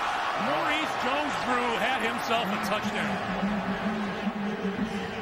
And in a tight, scratchy kind of football game, you don't get that many opportunities for a touchdown. And Jacksonville just left one on the table right here. Perfect throw. And again, Maurice Jones-Drew doesn't catch it with his hands. That ball drills him right in the chest, and he's not able to handle it. Got to catch with your hands. Third and nine. Look at look at number 32, half the size of Tony Pashos. Jacksonville can get a first down without getting a touchdown. Garrard throwing. Jones-Drew back again to the end zone and a touchdown. No, they're going to call him short. Well, he was just dragging Ike Taylor. Ike Taylor was wrapped all over Maurice Jones-Drew, trying to keep him from the end zone. Well, talk about coming right back to him. Look at that. That's there's Taylor, Polamalu. He's trying to wrestle him down. But watch Maurice Jones-Drew drive. I see his shoulders were across the goal line, but they're right. The football wasn't. First and goal. Jones-Drew. Not now. It's not yet. Second and goal. You know, that spot, I think, was really an outstanding job by the officials. Because a lot of Maurice Jones-Drew ended up in the end zone, but the football was back by his hip. Dan, how about Jacksonville coming right back to Maurice Jones-Drew, the same play on which he dropped the pass? Yeah, well, he's a playmaker. You got to come back to him. You, you don't send Maurice Jones-Drew to the doghouse. No, I don't think so. Second and goal. Even though he could walk in one without, without having to bend over. Garrard had a quarterback sneak earlier in this drive. Out in the flat, and that's not going to work either. Polamalu cuts down Greg Jones. Wow. Man, why? That, that's a tough one there, where you run a play where you risk losing yardage, which is exactly what Jacksonville did. They lost a good two yards on this play. Watch him. Low into the knees. No need to wrap up when you take a guy's legs out that cleanly. Look at the closing speed of Troy Polamalu. Man, that's what makes him a special player. Lots of, most guys can't even dream of doing that. 20th play of this drive. Third and goal. Garrard throwing far side. Touchdown. Reggie Williams. And again, the Steelers secondary gives Jacksonville an easy touchdown because they can't, they let somebody loose. Now we have a Prior penalty marker on the field. Holding. Defense. Number 24. Penalty is declined. Touchdown. Penalty is on Ike Taylor holding. That's declined. The touchdown stands. Remember in the other side of the end zone how open Ernest Wilford was for a touchdown. Here in what looks like a pretty good, well, we'll call it a confusion play instead of a pick, but you run a couple guys to the inside. The secondary gets a little confused. They got to run around people. You end up with a wide open guy for a touchdown. Scobee lost the handle. Podlesh lost the handle, and the Jaguars fall on it. The conversion attempt is no good. Podlesh had a little trouble earlier and recovered, but not this one. And we have a penalty marker on the field. Boy, that was a good snap. It was a perfect snap right on the hands. I did. Gene- I Gene did not. Steratore is conferring. I did not see the flag thrown, although you couldn't see it on the field anyway, as littered as it is. Say one thing, neither team is left. They're both still out there. Is Gene. There is no foul for leverage on the play. The result is an unsuccessful try. Timeout. So the score stands at 16 to 7. Jacksonville. You don't see that very often. 20 plays, 74 yards, 9 minutes and 40 seconds in duration. That's the longest drive in Jaguars franchise history, and they grab a 16 to 7 lead. And keep in mind, they converted two fourth downs in that drive to keep it going. And uh, folks, I'm telling you, you don't see a 20 play drive very often. Uh, I played 13 years in this league. I, I guarantee you, I never was on the field for a 20 play drive. You see 16 and 17, and that's that's very long. 20 is extraordinary. You might need a breather on the sideline after one of those. But how long is it? Uh, how long has it been since Ben Roethlisberger got to play a little football? 9 minutes and 40 seconds. Well, and then halftime and everything. Lamont Thompson going to hold for Scobee. And Najeh Davenport. To let this one go into and through the end zone. And so Roethlisberger and the Steelers down by nine will start from their own 20-yard line. 5.20 to play in the third. Welcome back to Heinz Field, where Mike Tomlin's probably going to find out a little bit about his Pittsburgh Steelers right here. 5.20 to play in the third quarter. 37 minutes since Ben Roethlisberger has been on the field. On first down, he's going to throw it. Under pressure, and he goes down.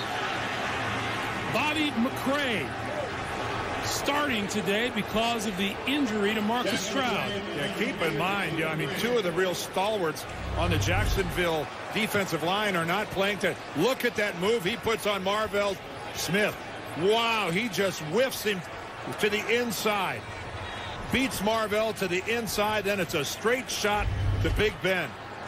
Man, without either Reggie Hayward or Stroud, this front four is playing lights out. Fourth sack of the day of Roethlisberger. Here's Willie Parker. Parker spinning and gets out to about the 15-yard line as the numbers on the field start to get a little obscured. Yeah, the snow is coming down just about twice as hard now as it was at the beginning of the game. Dan, we're getting very close to that point where, where I'll say stopped at the, you tell me, Dan. Yes, I know.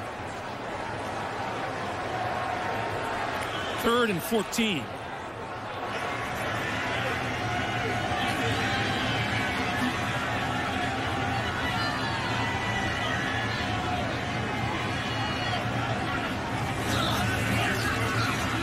Roethlisberger pumps, throws, and incomplete. Nate Washington is intended receiver, a bit too high. Washington couldn't come down with it, and the Steelers go three and out. He had Nate wide open. Ben had him, and this ball just gets away from him. It's just a little too high. Washington was really there, and Ben just couldn't control the throw. Keep in mind, Ben has a bad shoulder. He did not throw all week in practice. Very, very difficult to not do that and then come out and be accurate in a game. Sepulveda kicks it away. Northcutt on the run for 43 and down at the 46-yard line. We have just a tad under four minutes to play in the third. Jacksonville, 16-7 lead. And there's one of our cameramen, John Bruno, wearing shorts. Great decision. David Garrard, all kinds of time, going to throw it deep for Northcutt. He's got it inside the five. Touchdown, Jacksonville.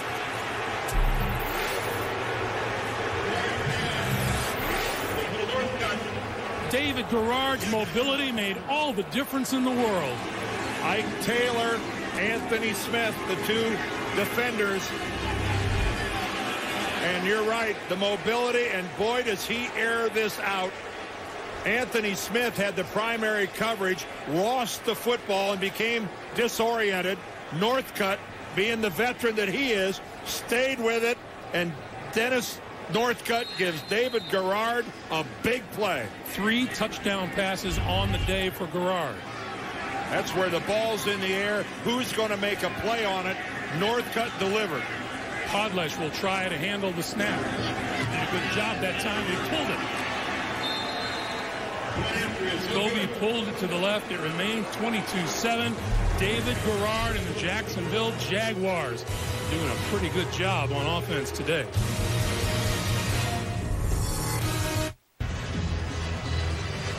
Three forty-seven to play in the third quarter. Anthony Smith, the second-year safety out of Syracuse, has not had a great week. Dan, No, he has not. He made the prediction that they were going to beat New England, had a bad game in New England, and then he was the primary victim on that touchdown. through the hands of Najeh Davenport and into the end zone where it will be a touchback. 3.43 to play. Pittsburgh Steelers looking to get something going. The 22 to 7 deficit has led some Steeler fans to rise to their feet and head for the exit. Now, earlier this year, Pittsburgh trailed Cleveland by 15 as well, and they came back to win that game 31-28. You don't see that every day here in Pittsburgh. This group is pretty sophisticated, awfully loyal. They stay to the end, but they're bailing today. Roethlisberger from the shotgun, just try to start to get some of it back. Out of the backfield, complete to Willie Parker, and Parker with the clock moving and coming up on three and a half minutes to play. And smartly, Ben Roethlisberger is going to run it at the line of scrimmage. Some kind of a shakeup really necessary for Pittsburgh. Anything to energize the old gang, get them playing ball, because they have been lethargic. Give the Jacksonville defense an awful lot of credit for that. Yes, sir. Uh, Roethlisberger, Roethlisberger to the far side of the field and complete to Cedric Wilson and a derisive cheer coming down from the Steeler fans. Yeah, I mean, folks, there's 18 minutes and 10 seconds of football left in regulation here. This is hardly an insurmountable deficit. That's right, they didn't leave. Of course, I'm not sure they know where they are. They may never. They may never leave. This is their last home game in the regular season. Pittsburgh a perfect 7 0 at home so far. Roethlisberger on the move. Got rid of the football. Looks like a live foot. No, it now, it's, now it's ruled incomplete. Boy, that was really, really close. Ben comes over the sidelines to wipe off his gloves. When he takes a hit like that and they get some snow on him there, they get slippery. Was his arm moving forward? Ball's going to come up in the air. Oh, clearly, yeah. He was that motion was going away from us here in the press box. Couldn't see it as clearly as you could see it right there. Looked more like a jump shot than a forward pass. It wasn't that much of a forward pass, though. Second and 10.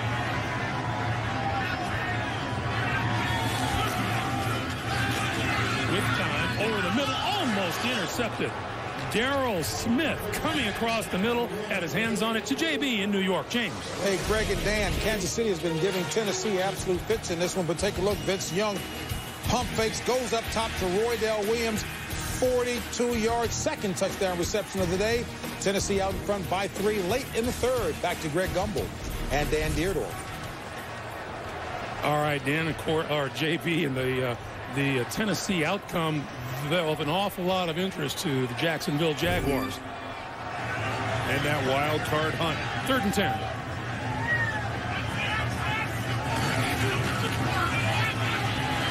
Roethlisberger on the move again. Throws over the middle, incomplete, intended for Hines Ward, who went down hard. Man, this crowd is getting nasty. Not every day you hear Ben Roethlisberger and Hines Ward being booed by the crowd. Now Ben again buys some time by moving out of the pocket. He's so good at this. Throws back across his body.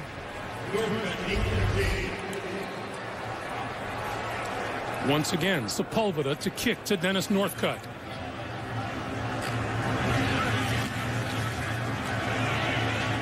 He'll let this one bounce inside the 30 and it'll roll inside the 25 to about the 22.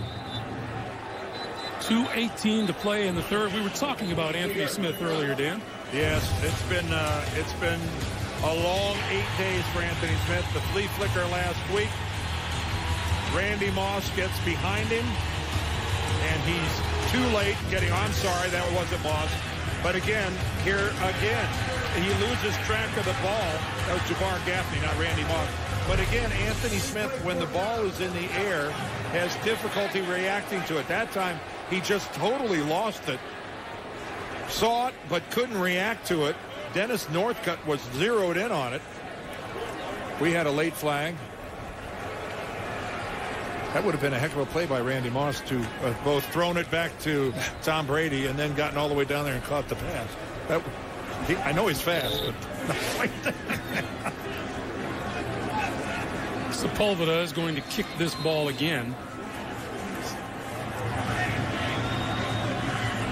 And Jacksonville looking for a better result than the one they had before where the ball came to rest at the 22-yard line.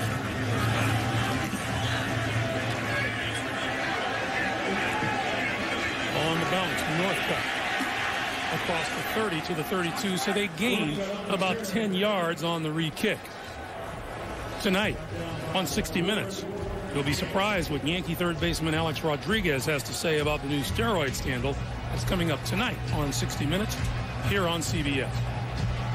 Well, Pittsburgh right now is finding out what is pretty obvious, and that is it's a whole lot easier to hold a lead as these conditions begin to deteriorate than it is to try to make a comeback. You know, we were just talking about Anthony Smith, Mike Tomlin.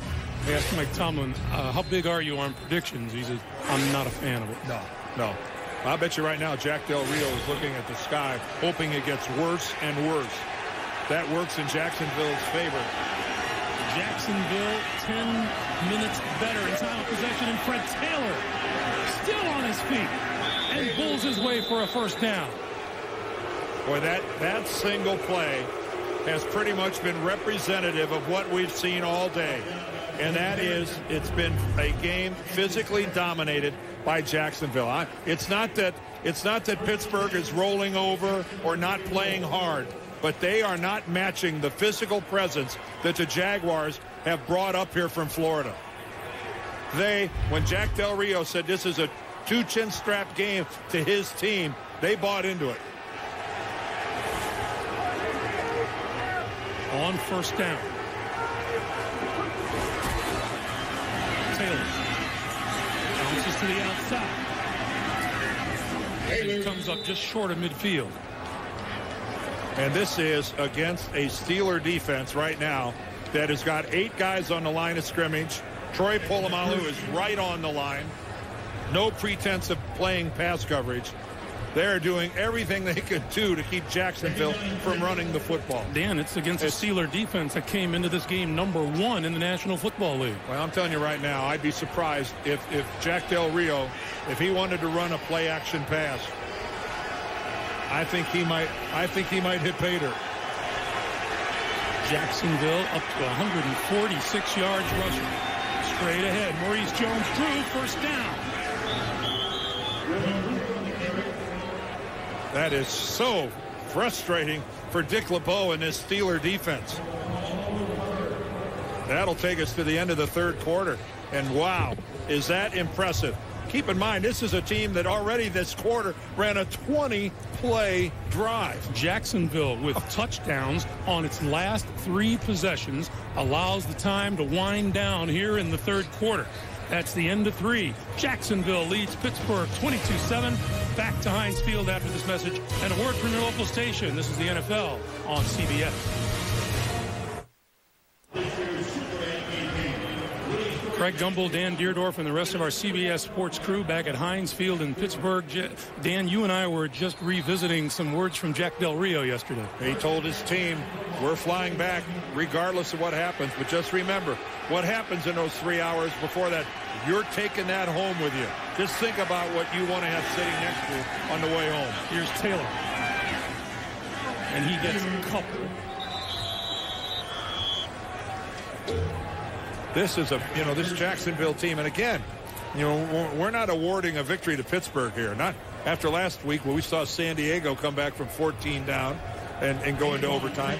But this, this Jacksonville team, let's face it, there's not a lot of star power on this team. And, and yet they just are an in-your-face football team. You, you, you really, you, you do have to admire the fact that they're not exactly a team full of Brett Favre. Play fake. Taylor. Garrard on the move and throws. Intercepted. On the way back is Anthony Smith. Smith down the sideline with a couple of players to beat. He's down just short of the 10-yard line.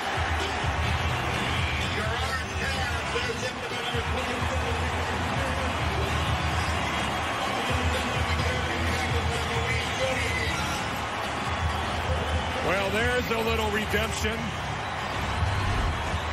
This ball sails on David Garrard. He comes out.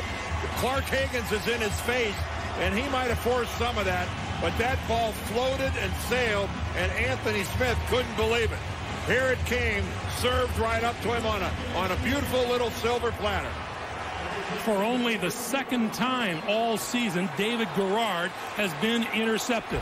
And that's only the ninth interception of the entire year for the Steelers secondary. They've been woeful in that department. From the 13-yard line, Willie Parker. For Wow. a couple to the 11, John Henderson with the stop. That significance was a quarterback who doesn't throw interceptions being picked off by a secondary that doesn't get any interceptions.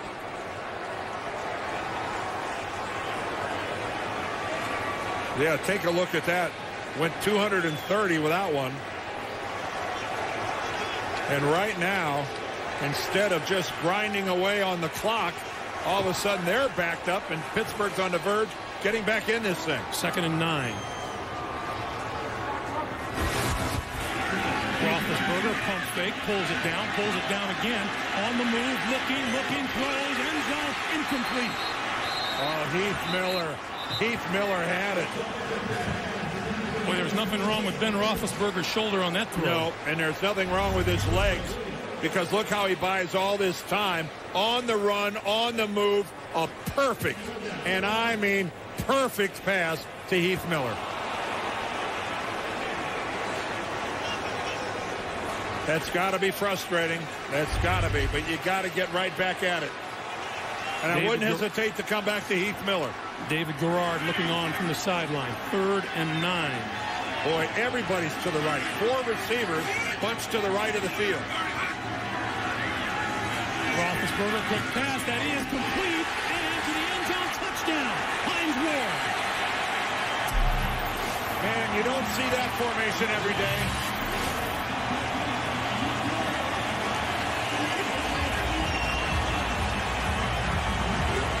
Four receivers overloaded to the near side of the field.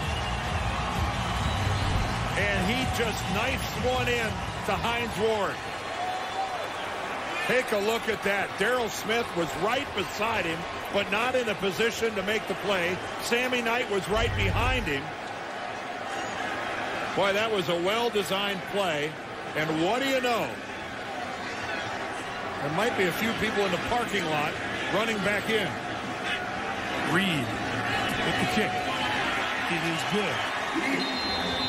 David Garrard's interception sets up Pittsburgh and their chance to pull closer. 13-11 to play in the fourth quarter.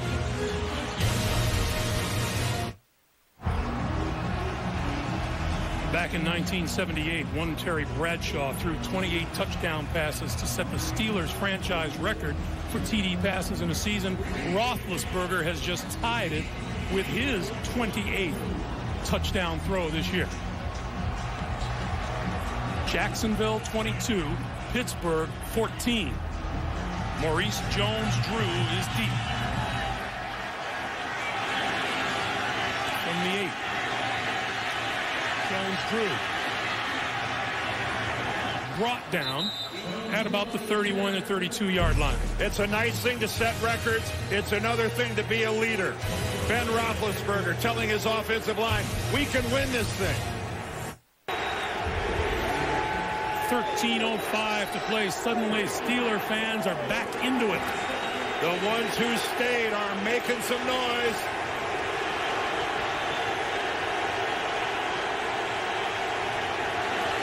Fred Taylor for maybe a yard. Once again, the playoff situation for the Pittsburgh Steelers. They clinch a playoff berth with a win or a Buffalo loss or Tennessee loss. Buffalo is losing, Tennessee is winning. They clinch the AFC North with a victory here and a Cleveland loss. Cleveland is winning.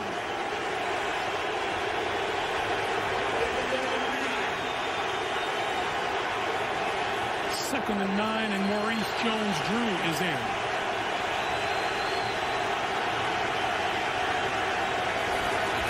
Play fake. Garrard. And that's complete right at the first down marker to Dennis Northcutt. Did I see Maurice Jones-Drew pick up a blitzer and hit him hard? Most certainly did. You most certainly did. Mighty Mouse. Fake Farrior comes in, Foote comes in.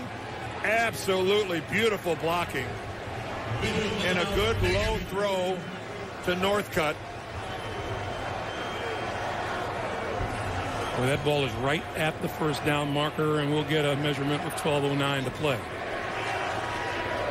Again, even though he threw an interception on his last possession, you got to come back to your quarterback.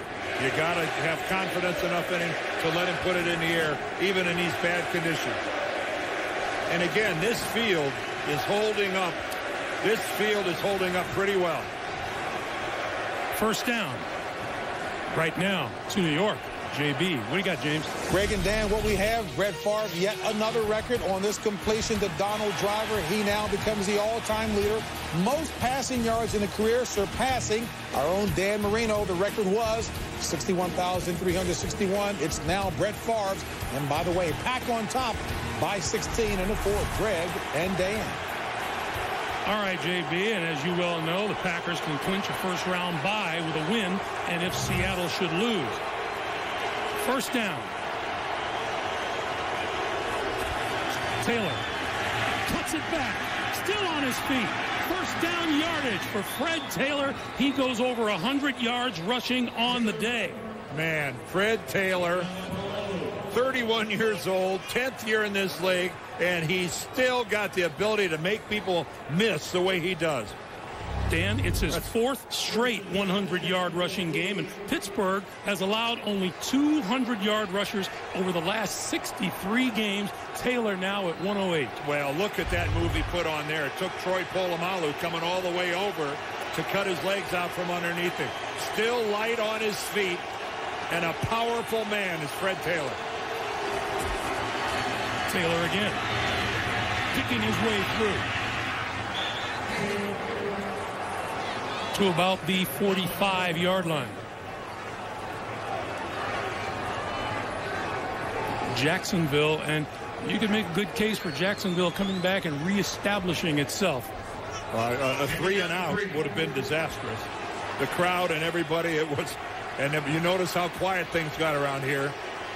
That's what a couple runs and first downs will do for you, and a really good pass from David Garrard to Dennis Northcutt. Yeah, all of a sudden the towels aren't flying so much. Second and three. Taylor, nowhere to go.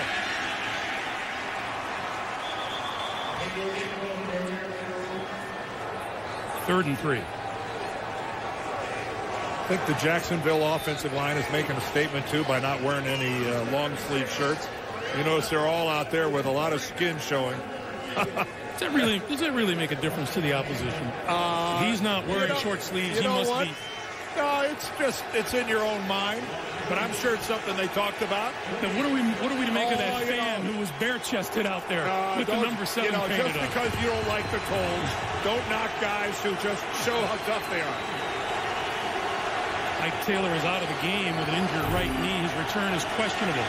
Garrard, quick drop, throws through into traffic, and it's incomplete. Well, he really tried to force that into Wilford, and there was a lot of traffic. Steelers were bracketing Ernest Wilford, and David Garrard, looking at him the whole time, went to him anyway. Oof. High, high chance of an interception there. Larry Foote on one side, Anthony Smith on the other. All right, snaps and handling of the football. No gimmies today. Podlesh grabs it, kicks it. Cedric Wilson says, let it go. And it floats out of bounds just inside the 20-yard line. We'll take a break.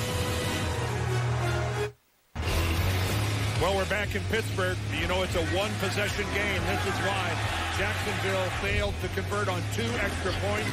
One, a drop by Adam Podlesh, and then on the other, Scobee misses it, and we have an eight-point ball game as a result. A touchdown and a successful two-pointer ties this up.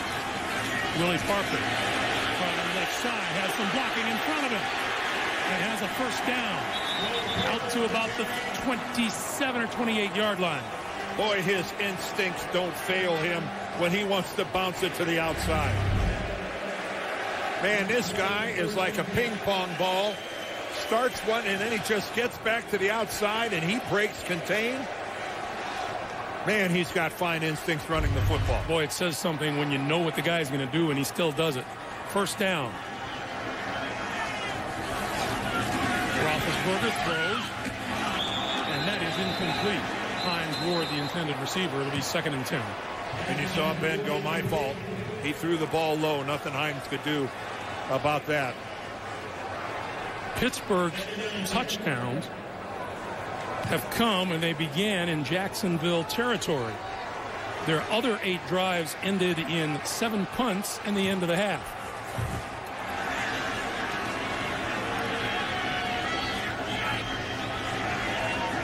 Now on second and 10, and Roethlisberger makes some adjustments.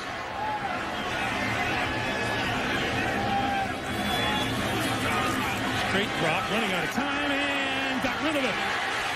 This is Parker. Parker with first down yardage and much more into Jacksonville territory to the 44-yard line. Ben Roethlisberger, you are a stud. You are a big, strong stud. He's got Jacksonville guys hanging all over him. There is no way this is nothing but a sack. And Ben Roethlisberger finds Willie Parker with a little flip. Man, that was And as he shuffled Oh. that backward, that goes down as a 27-yard run. Now here's Parker again. Parker wrapped up by Henderson and Daryl Smith. Again, look at Roethlisberger on that last play. Totally wrapped up, being driven the other way, and has the awareness to be able to get rid of that ball. And you know, when you get rid of the ball like that, you know you're not going to be able to get that arm back in time to protect yourself when you fall. Second and 10, Roethlisberger spreads the field. Under pressure. On the move and down he goes. Brent Hawkins. Fifth sack of the day of Roethlisberger. Well, I know that I know that Big Ben did not practice last week with that sore right shoulder. I can't imagine what that shoulder is going to feel like tonight. I, it, he has taken a lot of hard hits. You saw him look behind him. He couldn't see Hawkins. Hawkins was coming in so low. Ben looked back over his shoulder, and I'm not sure he caught sight of it. Hawkins got off the turf to make that sack. Sure did. Third and 18. Notice Pittsburgh without a sack today on David Garrard. Got the play off in time. Roethlisberger throws. That's complete to Santonio Holmes. Holmes for a first down.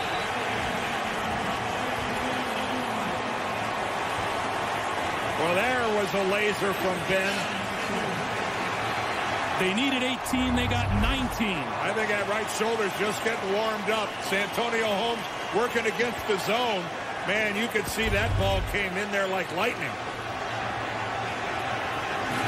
First down now. Here comes Parker. Right side. Twists his way to about the 30-yard line. Brian Williams, Sammy Knight making the stop. 6.20 to play in the fourth. And it's all about ball security now, Greg. If you catch the ball or you're running with the ball, you have got to put it away. You know they're going for the strip. The ball is wet. This would be a bad time to put it on the ground. Willie Parker now 14 carries for 100 yards.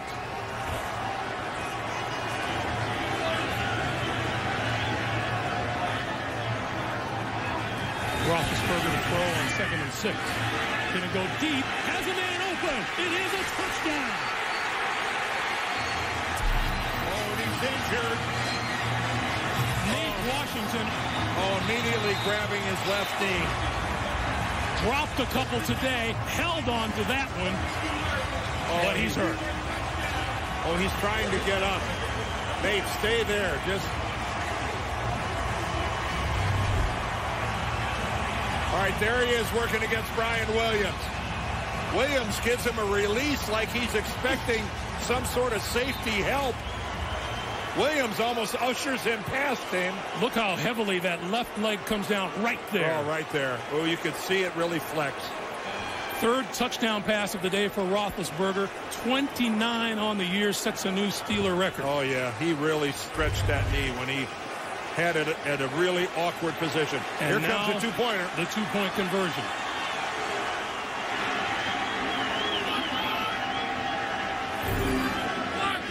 Parker in the backfield. The give is to Cedric Wilson, who throws,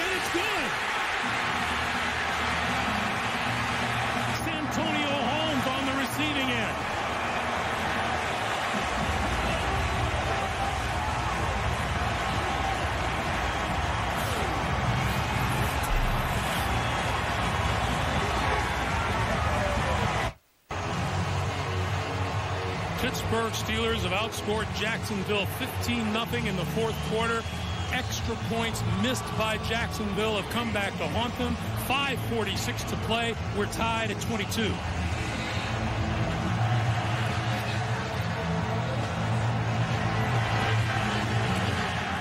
Scott Starks is deep. And we'll take it at the 10. A little bit of running room closes up quickly as James Harrison makes the tackle. Well, you can call it a gadget play, a trick play, whatever you want to call it. There goes the pitch. And Cedric Wilson, a high school quarterback, turned into a receiver at Tennessee. A little behind to Santonio Holmes, but plenty good enough. A nice tight spiral. Dan, we've seen worse passes today. Yes, we have seen a lot worse passes today.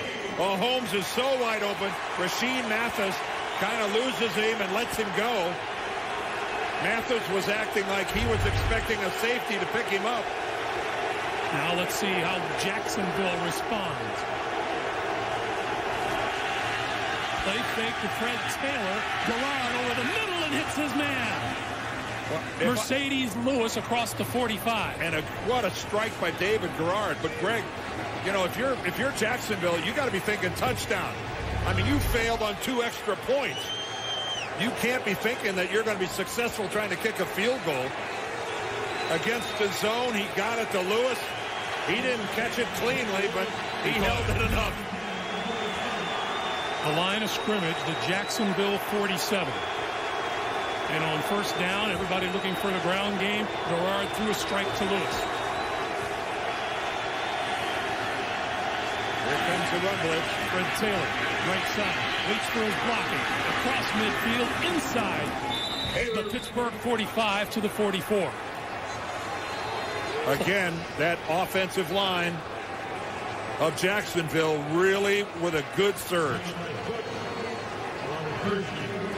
Or they really got after it. Reese Williams, Pashos, Fred Taylor, 124 yards rushing on the day.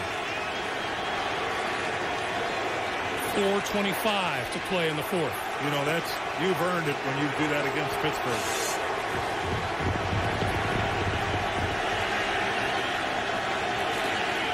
Taylor squeezes through, still on his feet. And finally down inside the 35 to about the 32-yard line. You know, that's the problem with Pittsburgh selling out the way they are at the line of scrimmage. They're coming in on these run blitzes, and there's not much backing it up.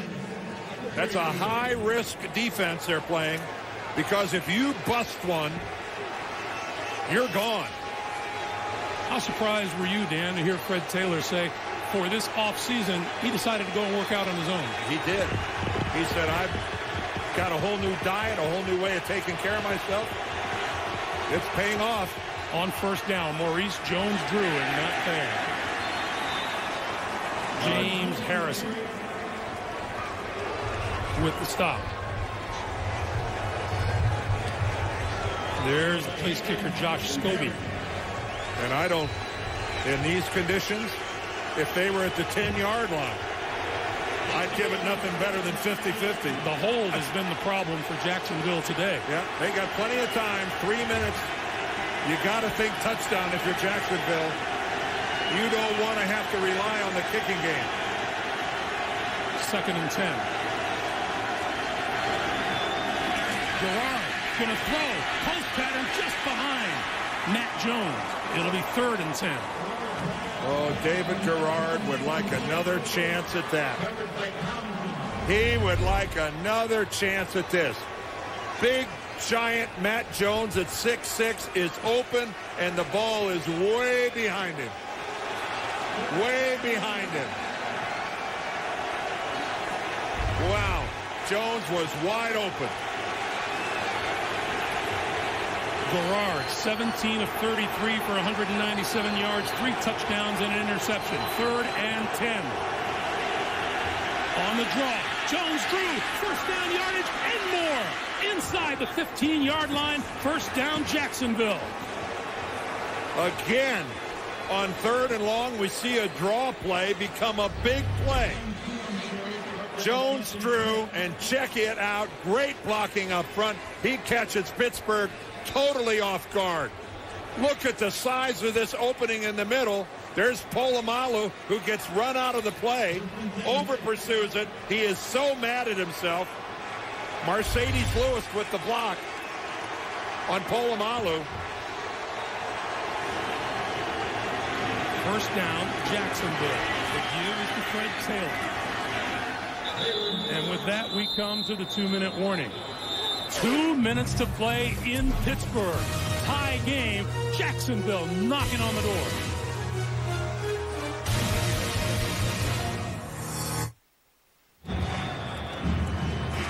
Well, we're back with 2.02 to play. The Pittsburgh Steelers called a timeout prior to the two-minute warning.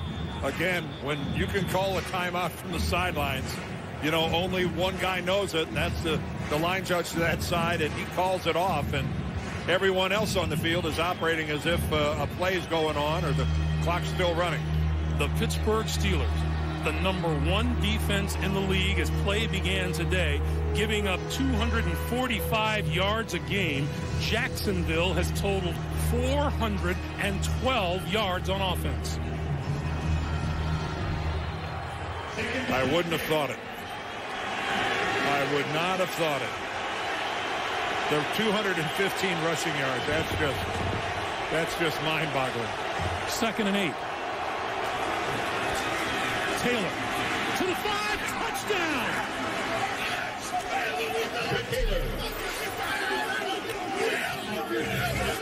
What a performance by the Jacksonville offensive line. I can't recall the last time I've seen the Pittsburgh Steelers manhandled to this extent up front defensively.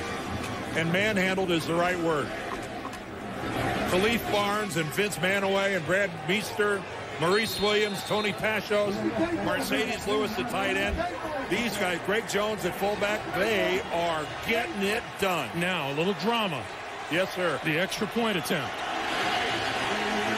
Butler puts it down. Scobee puts it through. 12 yards by Fred Taylor, and Jacksonville comes back strong to regain the lead. Two-minute warning, 157 to play. You want to wrap up on the post-season situation. The Subway postgame show. JB, Dan, Boomer, Shannon, Coach Cowher, all the latest NFL scores and highlights. That's all coming up on the Subway postgame show. I know Bill Cowher is back in the studio watching this going, whoa, is that my is that my group out there getting run on like this? You just don't come into Pittsburgh and run against the Steelers the way Fred Taylor and the Jaguars have done today. Taylor. Not, not when you know it's coming. You can't stop it. Najeh Davenport from the 11. And a big hole up the middle, and look at him go out to about the 42-yard line.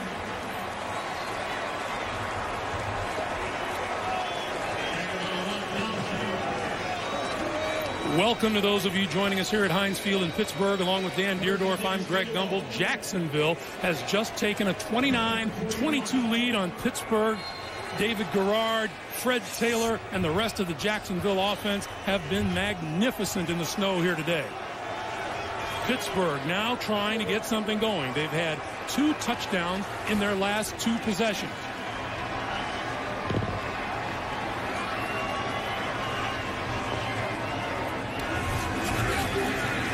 Roethlisberger's been sacked five times today and almost intercepted there.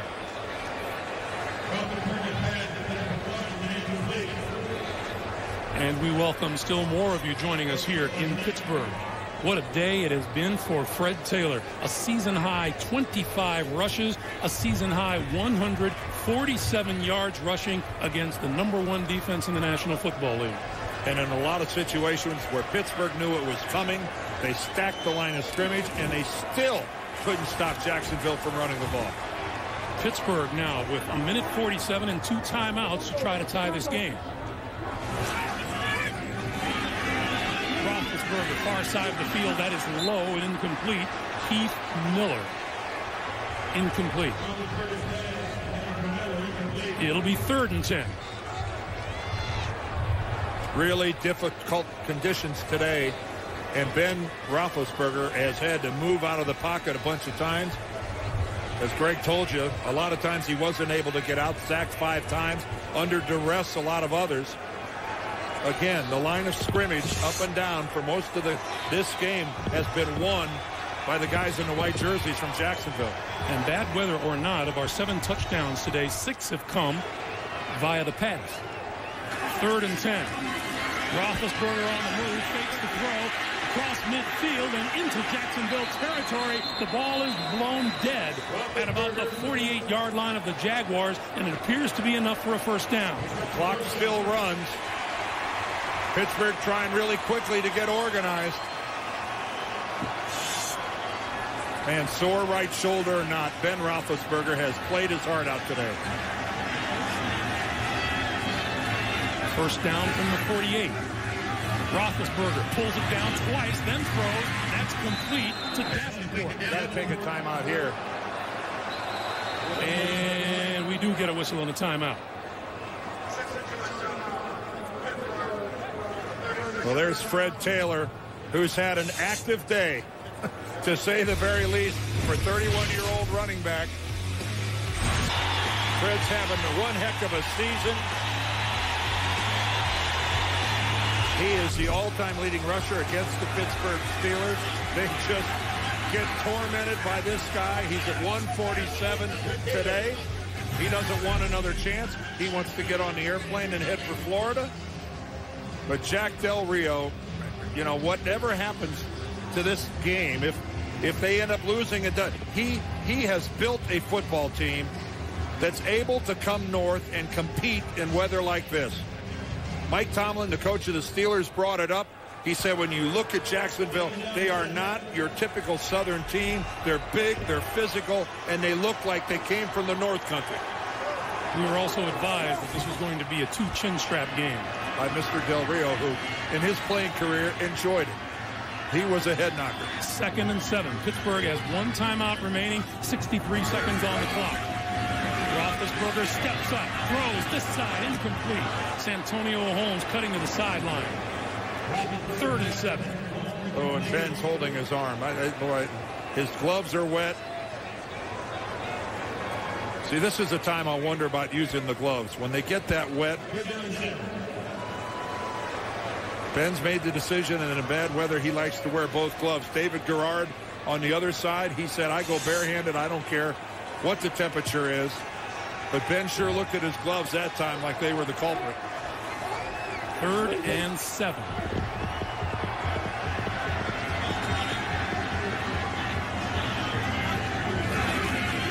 Roethlisberger waits, waits, throws over the middle, incomplete. Cedric Wilson, the intended receiver, and now fourth and seven. You would think Jacksonville's defense needs to stand tall one more time to secure a win. And keep in mind, they're missing a lot of key defensive people that, you know, they'd love to work into that rotation. Reggie Hayward not available. Marcus Stroud's on IR. Their starting middle linebacker, Mike Peterson, he's out with a hand injury. Jack Del Rio playing shorthanded defensively, and they've come up big. Fourth and seven.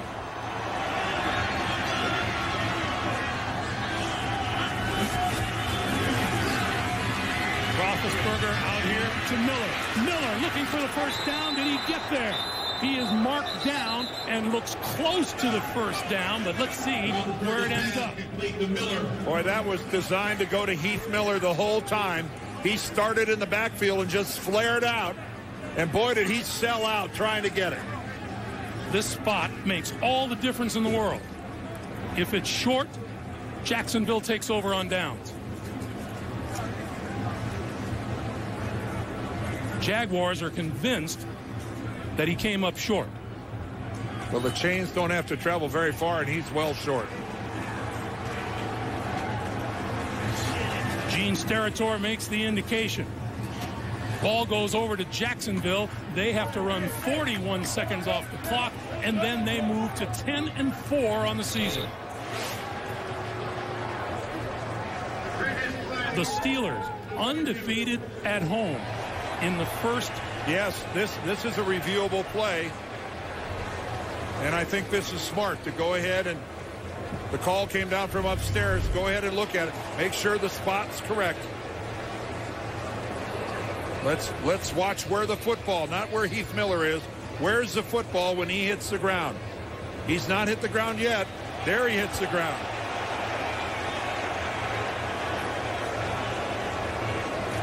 His elbow actually dug a hole in the turf, didn't it? And in this snowy weather, it's going to be so tough. See, his hand doesn't put him down. The hand doesn't put him down. Look, his elbow dug a hole. Where? His elbow is leaving a little mark. What? See, he's still up, still up. Right there, he's down.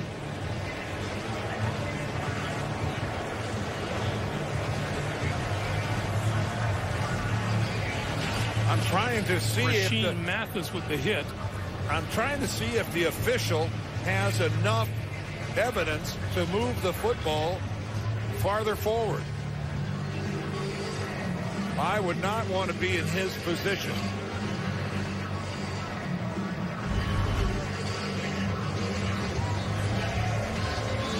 Jack Del Rio pacing on the far side. And mean- Mike Tomlin on the near side. What Mike Tomlin needs is for the replay official to say, move the ball forward about eight inches. And that would give him a first down.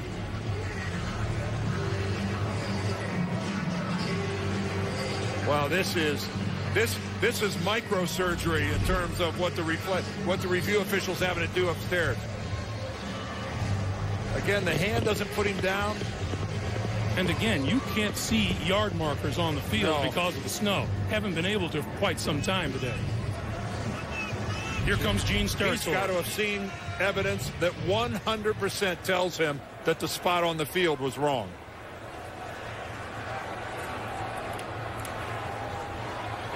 After review, the ruling on the field stands. The runner is one half yard short of a first down. It will be Jacksonville's ball, first and 10. And with that, Jacksonville has the chance to put it away now. And I don't, I don't looking, you know, we looked at it over and over and over. I don't see how you could have called down there and said the spot on the field was wrong.